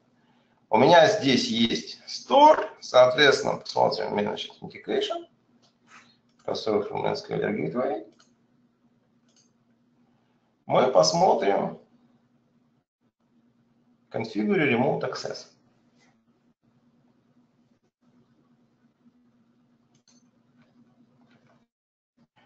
Configure Remote Access, Enable Remote Access, пускать пользователей через а, то есть через ресурсы, доставляемые Storyfront, без всяких VPN-туннелей.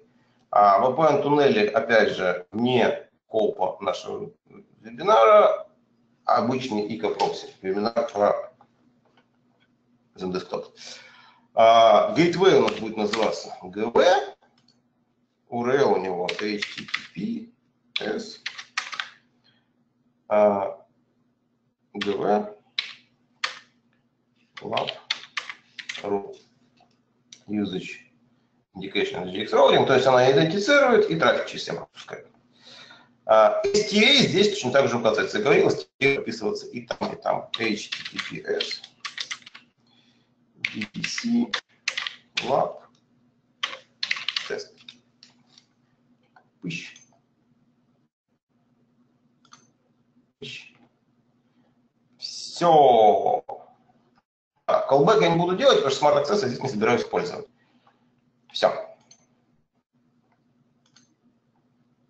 И таким образом я включил Remote Access. Теперь мне надо разобраться, почему у меня работает э, External Gateway. И дайте мне на это одну секунду.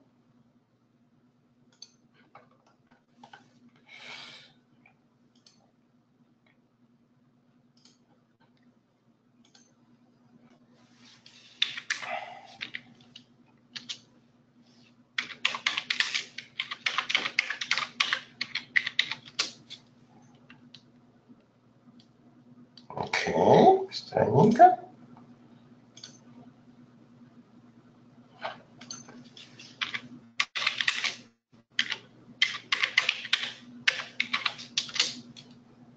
А вот это не странненько, видите. А,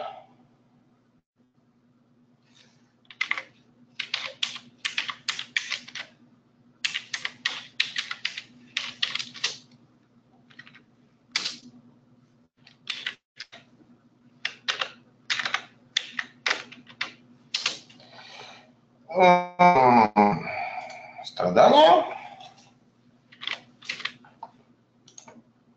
Сколько внешнего У меня нет. Роль DNS выполняет файлик hosts. И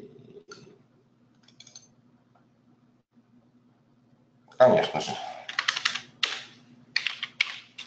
Вот так вот.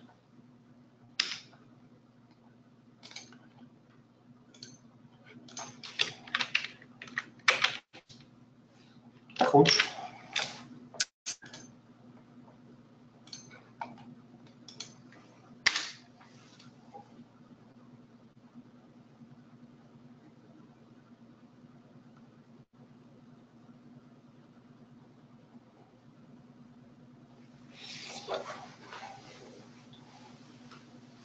Что опять не так?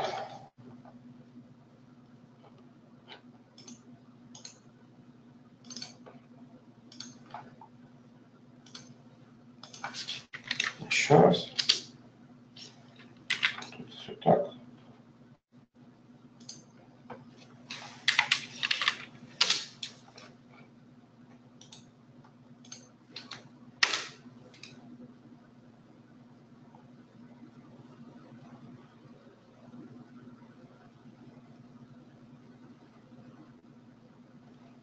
Так, а посмотрим, что он показывает. А, вот все, здорово. А, окей.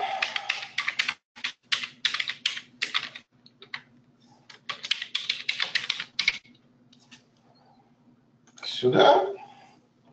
А, я ничего не выключал, поэтому у меня выскакивает э, трехкнопочное окно, всем известное, и схема у Нискиллера тоже старая. А, работает только вот это, сюда ткнемся.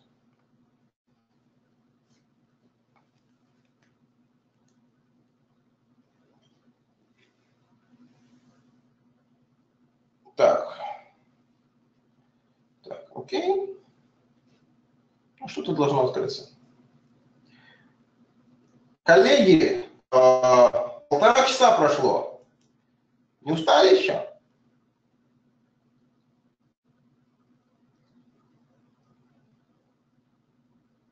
Тебя Самые морально нестойкие уже отключились. Не. А, ну, нормально. То есть у меня еще есть немножко, минут на 15, э, но я, наверное, это сокращу. А, я не буду это делать, я это просто продемонстрирую, где это делается. Потому что там много писать все-таки, и это как бы не основное, но я просто покажу, что это есть. Потому что основное внешний внутренний доступ мы сейчас, я надеюсь, уже сделали. У меня сейчас ресивер раскочегарится. Да-да-да. Да-да-да. Все согласен. И, Сереж, потом есть э, там вопросы, по которым нужно будет пройтись по там, стенду. Там, ну, вот, э, задавал, просто не все успевали озвучивать. Окей, хорошо.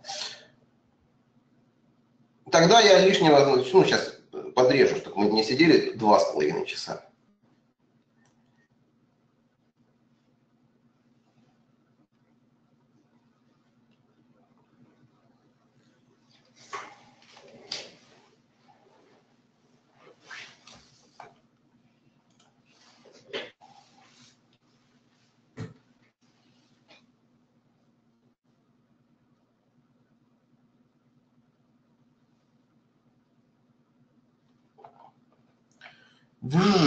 Работает.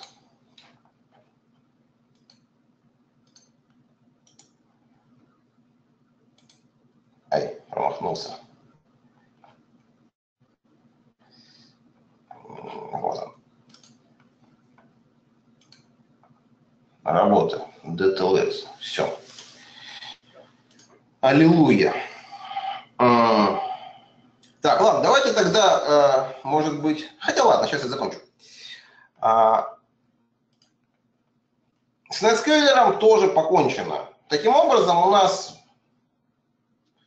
те компоненты, которые обрабатывают клиентские данные, в общем-то, уже засекьюрены. Что осталось? Осталось три вот этих штуки. License, Hypervisor, SQL. А SQL достаточно важно. Потому что, и, кстати говоря, не очень-то вот стандартных, э, кроме секьюрного курса, нигде не разбирается. На самом деле SQL необходимо точно так же сделать под SSL. Обязательно. А, я сейчас по-быстрому покажу. Про лайсенсер гипервизора, наверное, много говорить не буду. А, тогда. Но вот у нас еще остается потенциально три стрелочки, которые по отдельности за Посмотрим, что можем сделать с SQL. SQL там, SQL там есть одна подстава, одни закопанные грабли. Что, что будем делать? SQL.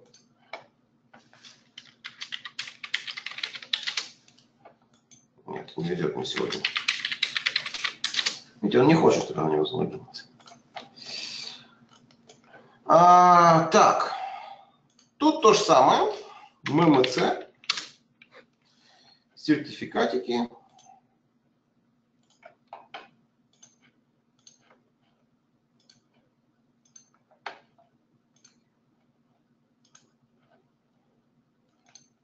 Пыщ, пыщ пыщ, получаем сертификат.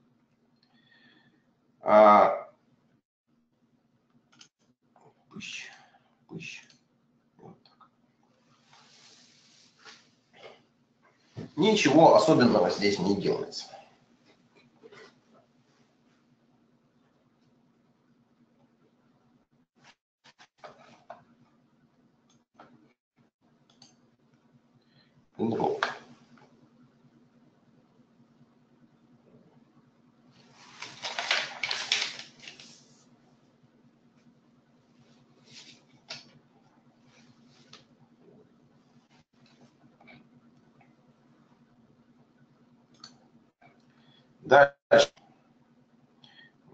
Есть вот такое.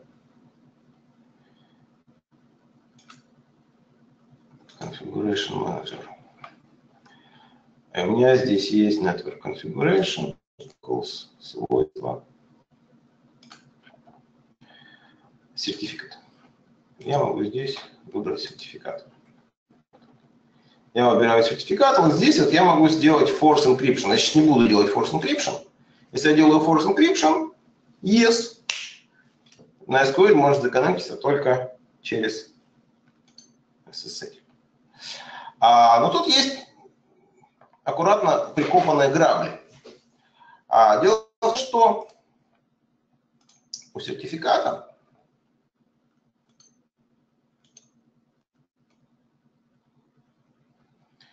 есть менеджер права. Может, ну а чтобы пользоваться сертификатом, нужно иметь доступ к закрытому ключу. Кто может пользоваться его закрытым ключом? По дефолту SQL может. Если я сейчас вот так вот сделаю, как во всех мануалах написано, туда, сюда, и оно не будет работать. А, поэтому мне нужно пойти, э, ну, мне нужно понять, под каким аккаунтом у меня собирается работать SQL. Кто-нибудь видел SQL? SQL сервер. Вот. Ну, как бы известно, но у всех может быть по-разному. У меня по ленивому способу сделано, поэтому понятно, под каким аккаунтом он не работает. Таким. Но в любом случае, вот этот аккаунт должен иметь право читать вот этот сертификат, вот этот private key. Соответственно, сколько тут систем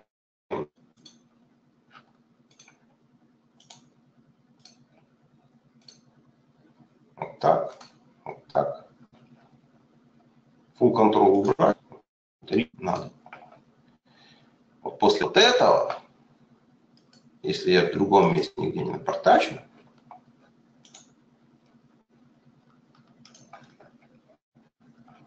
окей, рестарт. Надеюсь, что мне рестартанет SQL сервер.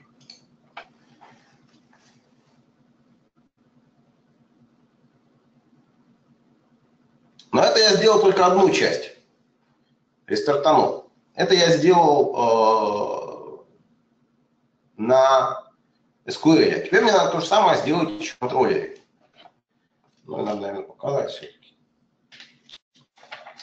Надо, наверное, все-таки показать. А, где мой там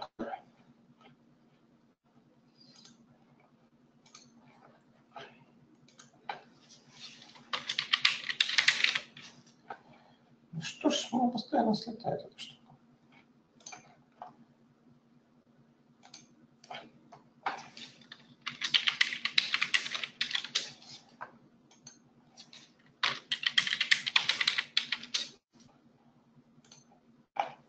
Вот мой контроллер.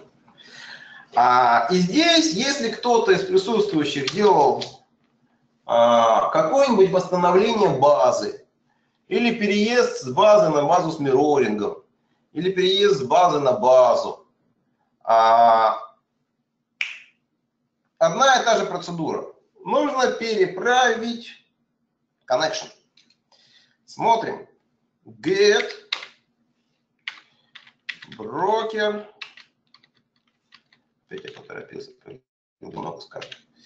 DB. DB connection. А, вот строчка подключения. Citrix. Соответственно, SQL Lab тест. Да, конечно, потом Citrix сайт тест. А, а, соответственно, я могу сделать set брокер DB connection DB connection, DB connection,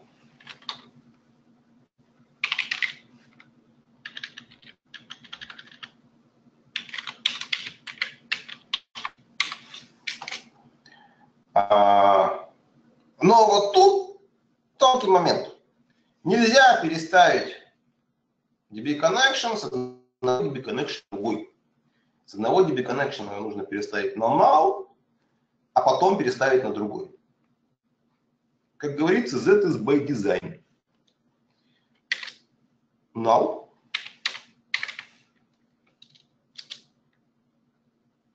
Только что, я только что завалил на десктоп.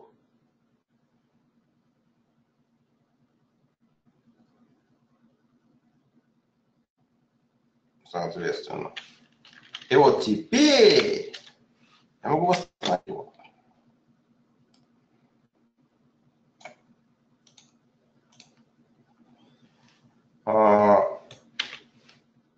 n rip равно true. Ошибочка, Сережа. Encryption, а не encryption. Encryption. Encrypt равно true. Все вроде бы.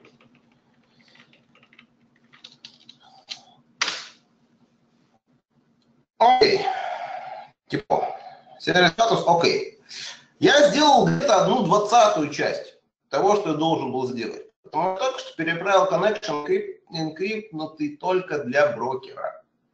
А у Citrix еще от 10 до 20 сервисов. А, причем нужно будет посмотреть в документации или на конкретном сайте, какие конкретно у вас. Потому что эта версия специфична. В новых версиях добавляются новые сервисы. У каждого сервиса свой коннект, и каждому сервису нужно коннект секьюрным делать отдельно. То есть у вас должна быть такая пошельная простыня, которая всем ставит в null, а потом всем ставит в encrypt true, а всем там с каким-то там сервисом 20. При этом у нескольких сервисов есть не одно, а два подключения к базе. Это мониторинговый сервис и это configuration логинговый сервис. Соответственно, у вас еще будет мониторинговая база, configuration логинговая база, соответственно, двух сервисов вам надо два коннекта править. Вот. Как это делается, опять? Быть, э, совершенно ау... Март аудитор, session рекординг. А, да, да, это тоже еще, да. То есть э, надо понимать, что э, актуально в вашей игре, э, и поправить connection ему. Именно поэтому я предусмотрительно не включил force в SQL, SSL, потому что тогда мне пришлось бы за все, за все эти сервисы ответить. А, а я вот не хочу сейчас, в принципе, этот список составлять. А, но основной сервис я сейчас переправил. Это вам как proof of concept. А, ну что, а, да, на этом, наверное, деятельная часть заканчивается. Буквально два места. А, licensing сервер. Licensing сервер. У него тоже есть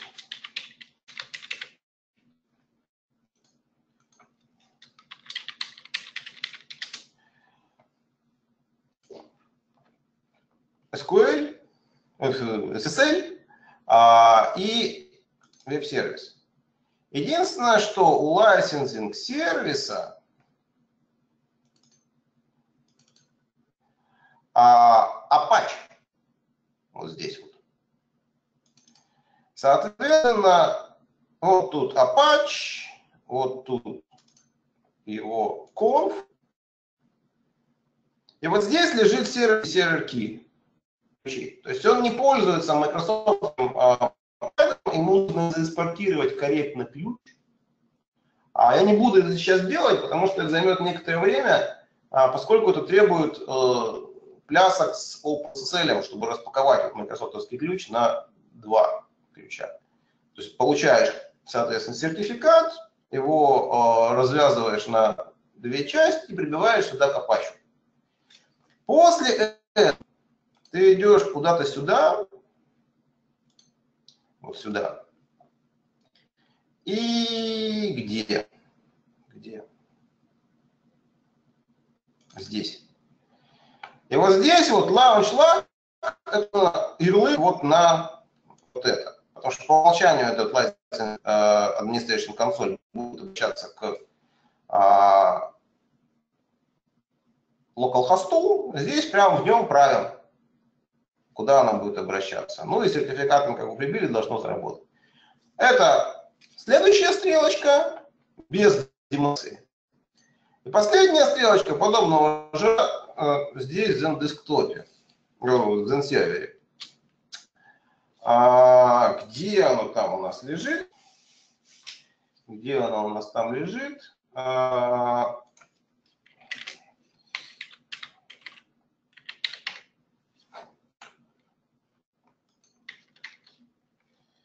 Zen Source. Это Zen Source, если не ошибаюсь. А, в ETC Zen Source у нас лежит XIP SSL. Тем. Это опять же сертификат, который вы должны OpenSSL привести в, в адекватную для а, Zen сервера форму, понимаемую. А, рестартануть толстек, рестартануть SSL. Эта тема тоже есть гайды, а, опять же подробнее на курсе можно получить. Сюда укладываете сертификат, а, перестартуете XAPI э, у вас э, гипервизор начинает тоже общаться по SSL. А на этом у нас получается, что мы накрыли все стрелочки, которые имелись.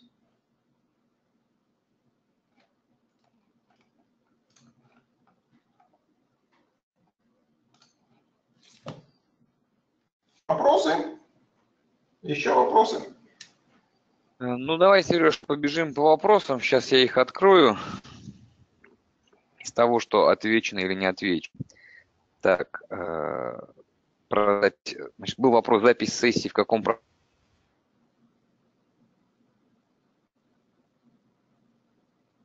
Вот сейчас не слышно.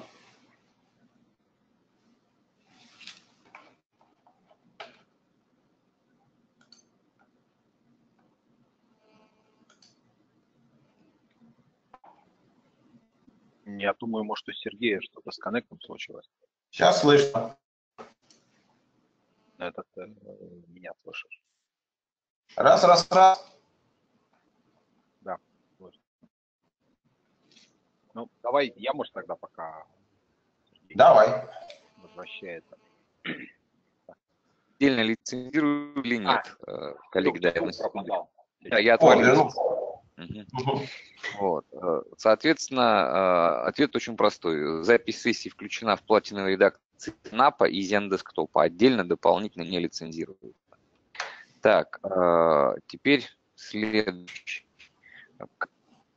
Какой уникальный вендор-лог функционал в данной схеме применяется на NetGaler? Владимир вот задавал такой вопрос, значит, соответственно, хорошо будет, что именно интересно, TLS, либо выпуск не выпуск, а привязка конкретных э, алгоритмов шифрования. Так. А, это, э, везде меняется HTTP на HTTPS. Как удостовериться, что шифрование именно TLS 1.2, а, например, не SSL 3.0? Ну, ответ ребята дали о том, что э, на NetSkiller просто исключить остальные типы. Ну, там видно было галочку. Нет, если формально то воткнуть в посмотреть. Ну, это как бы именно проверить, а чтобы э, э, по умолчанию не пыталась использовать другие, просто на Netscaler убрать соответствующие чекбоксы, очистить. Ну да, для внутреннего она показывает, там, какую, какую версию протокола она использует, мы смотрели на нее. Для NetScaler, но мы очистили чекбоксы, если мы этому верим, то все. Но мы с тобой оставили TLS 1, 1, 1, 2. Соответственно, да. если э, нужно совсем все жестко, то очищаем еще TLS1, TLS1.1, оставляем TLS1.2, но при этом нужно убедиться, что серти... Э, сертификация настроен правильно. Да, После сертификация и убедиться, что совместимость будет соблюдаться тоже. После навешивания сертификата трактор был шутить проблемы с подключениями. Ну, а это очень а, простой. Лайфхак опытом. А, значит, если мобильное устройство используется через корпоративный Wi-Fi, оно не но и не внешний доступ. Ну, соответственно, уже э, посоветовали поставить Netscaler Access Gateway как еще одну, как бы, один сервис и заруливать вот таких пользователей, в том числе через внутреннюю часть Netscaler. У тебя в схеме было подключение прямую к Storefront, соответственно, делать подключение таких же э, пользователей. Ну, кстати, а, многие же используют Netscaler Gateway для внутренних э, сетей. Это тоже удобно и дает свои преимущества в часть мониторинга, например. А, нужно ли в настройках Storefront указывать callback? А, можно, но не обязательно. Если не используется смарт-карта аутентикация, построить аутентикация и Access, то не нужно. А в противном случае нужно. А, сертификат Safe Gateway почему-то не указан, вот у тебя был. А, да, был. Я так понимаю, что это не, не критично, да? Здесь не критично. Так, а политика была по LDAP KD. А это по каким портам сертификатам? Наверное, а, 389. Да, я хотел показать. Это здесь э, все очень э, минимально у меня. Это дернул, по-моему. Политику я забыл показать. Что будешь делать?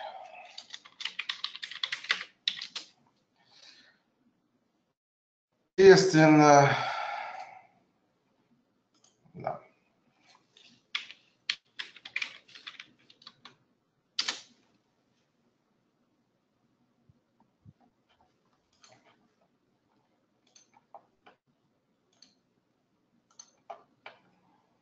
Вещи, которые я забыл продемонстрировать, это та самая политика, которая в Дополисе.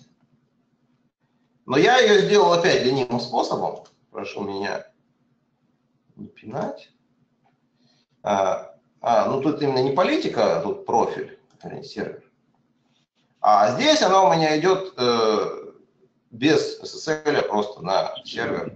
Обычно дергает э, еще под администратором. За это вообще нужно накастрировать. Но можно сделать, пожалуйста, вот так.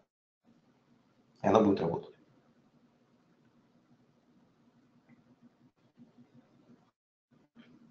Вот, это раз.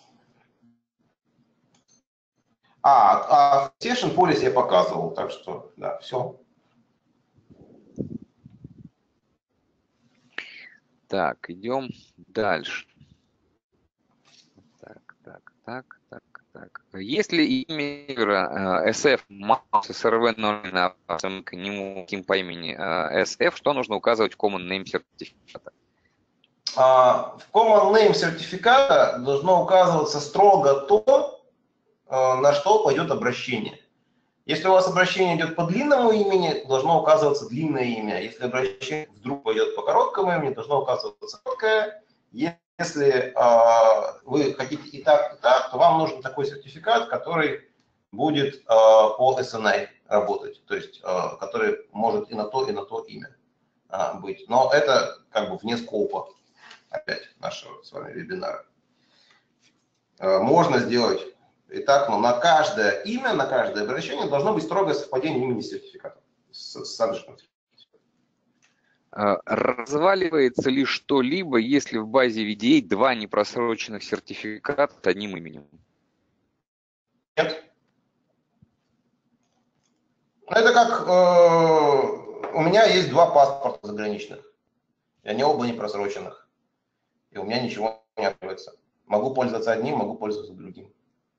Прежде я правильно понимаю, что в этом случае используется сертификат, который ты указал Используется тот, который привязан, ну, то есть тот, который используется. Вот с каким паспортом я поеду за границу, с таким и поеду. То, что у меня есть где-то там, не важно. Больше того, у меня в лабе а, есть сертификаты, которые там с прошлой генерации этой лабы э, выдавались, они где-то там, а, или наоборот, те, которые потом э, снапшотом откачаны назад, как бы и не выдавались, но они тоже есть.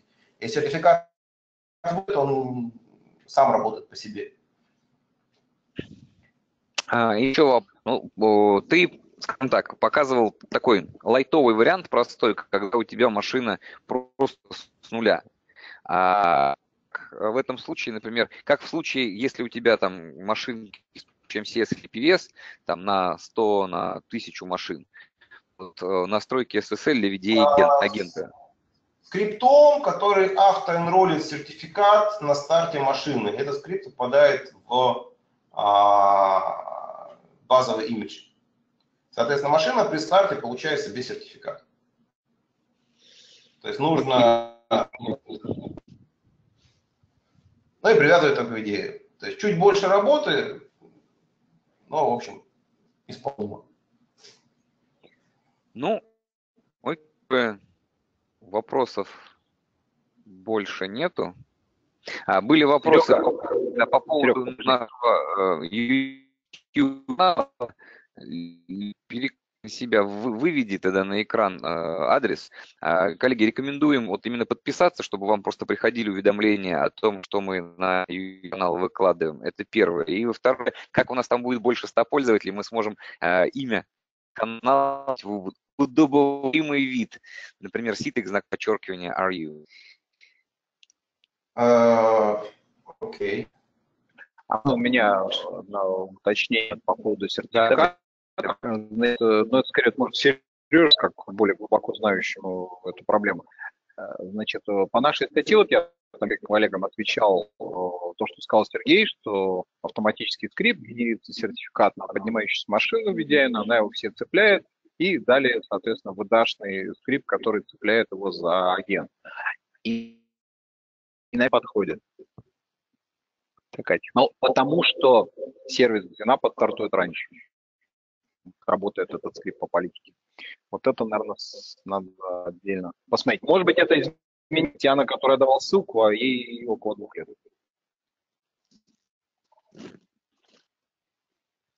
Поэтому, Сереж Халяпин, надо вопрос вот обязательно сохранить. Ну, хорошо, давай тогда сохрани, напиши, Лень. Э, сохраните вопросы из GoToMeeting, потому что я пока только чат могу сохранить. А, Окей. У тебя в меню должна быть возможность файл save as, э, те, кто с Windows машины сидят. Окей, а, были также на а, тему следующих вебинаров. Я озвучу, ну, как часть из них. Это рассказать про подсистему печати, ее настройки, рассказать про подготовку золотых образов, автоматизацию этого процесса подсказать о возможностях Citrix плюс Microsoft при работе в ажуре. Мы делали такую совсем базовую э, Essentials. Соответственно, сейчас Леонид с коллегами из Microsoft тестируют так, чтобы это можно было продемонстрировать, показать, рассказать с точки зрения настроек. Я надеюсь, в, относительно в ближайшее время мы это сможем показать. Если у кого-то возникнет пожелания по темам вебинаров, по идеям, что бы вы хотели посмотреть, пожалуйста, коллеги, не стесняйтесь, пишите se-rus at citrix.com, и мы стараемся, скажем так, ваше желание учитывать при планировании э, вебинаров. А, ну, коллеги, я так понимаю, что больше у нас вопросов нету. Ссылку на канал э, Сереж Бочериков или Леню выведите, пожалуйста, на экран. Кто-нибудь заберите у меня презентера. Так, Леня, я тебе сейчас тогда переключу.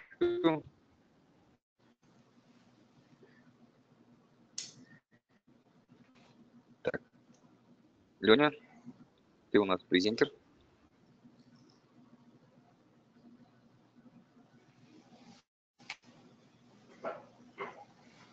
Вы, вы пожалуйста, расшарь экран, да.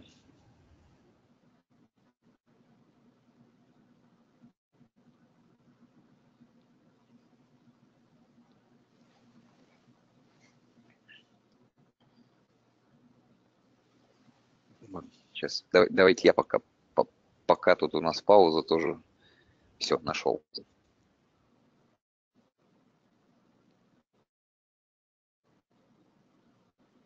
брал у тебя. А, все, Леонид уже вывел, да. А, вот скопируй в Варде как бы крупным шрифтом его выдели. Вот. Норик, он, у нас 97, нам осталось 3 человека, и можем а, просить администрацию YouTube, чтобы нам дали нормальный адрес для а, запоминания, а не вот этот вот сложно запоминаемый, сложно воспроизводимый. Вы видишь там, ну, в Notepad е, например.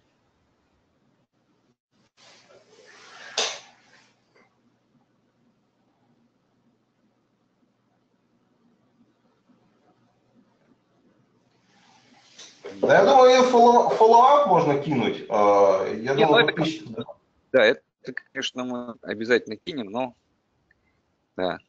Вот пока он вот такой. Соответственно, как только можем по внутренним правилам... Да. я вам гарантирую сегодня.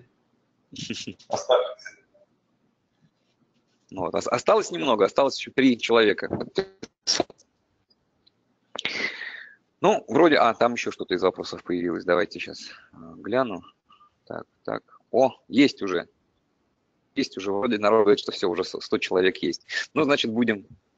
А, значит, а, был вопрос на YouTube видео вместе с ответами на вопросы. Вот все, что сейчас отвечается голосом, оно все пишется, поэтому это все там будет с ответами на вопросы. Соответственно, если мы, скажем так, что-то писали текстом, в рамках э, сессии вопросов и ответов во время выступления Сергея, то э, мы постараемся прислать файл с вопросами и ответами отдельно, просто при рассылке материалов вебинара, то есть презентации и видеозаписи. Окей, коллеги, спасибо большое. Надеюсь, вам было интересно. Ждите ближайших анонсов, мы определимся с датой следующего вебинара и, соответственно, получите рассылку с предложением зарегистрироваться на следующий вебинар. Спасибо.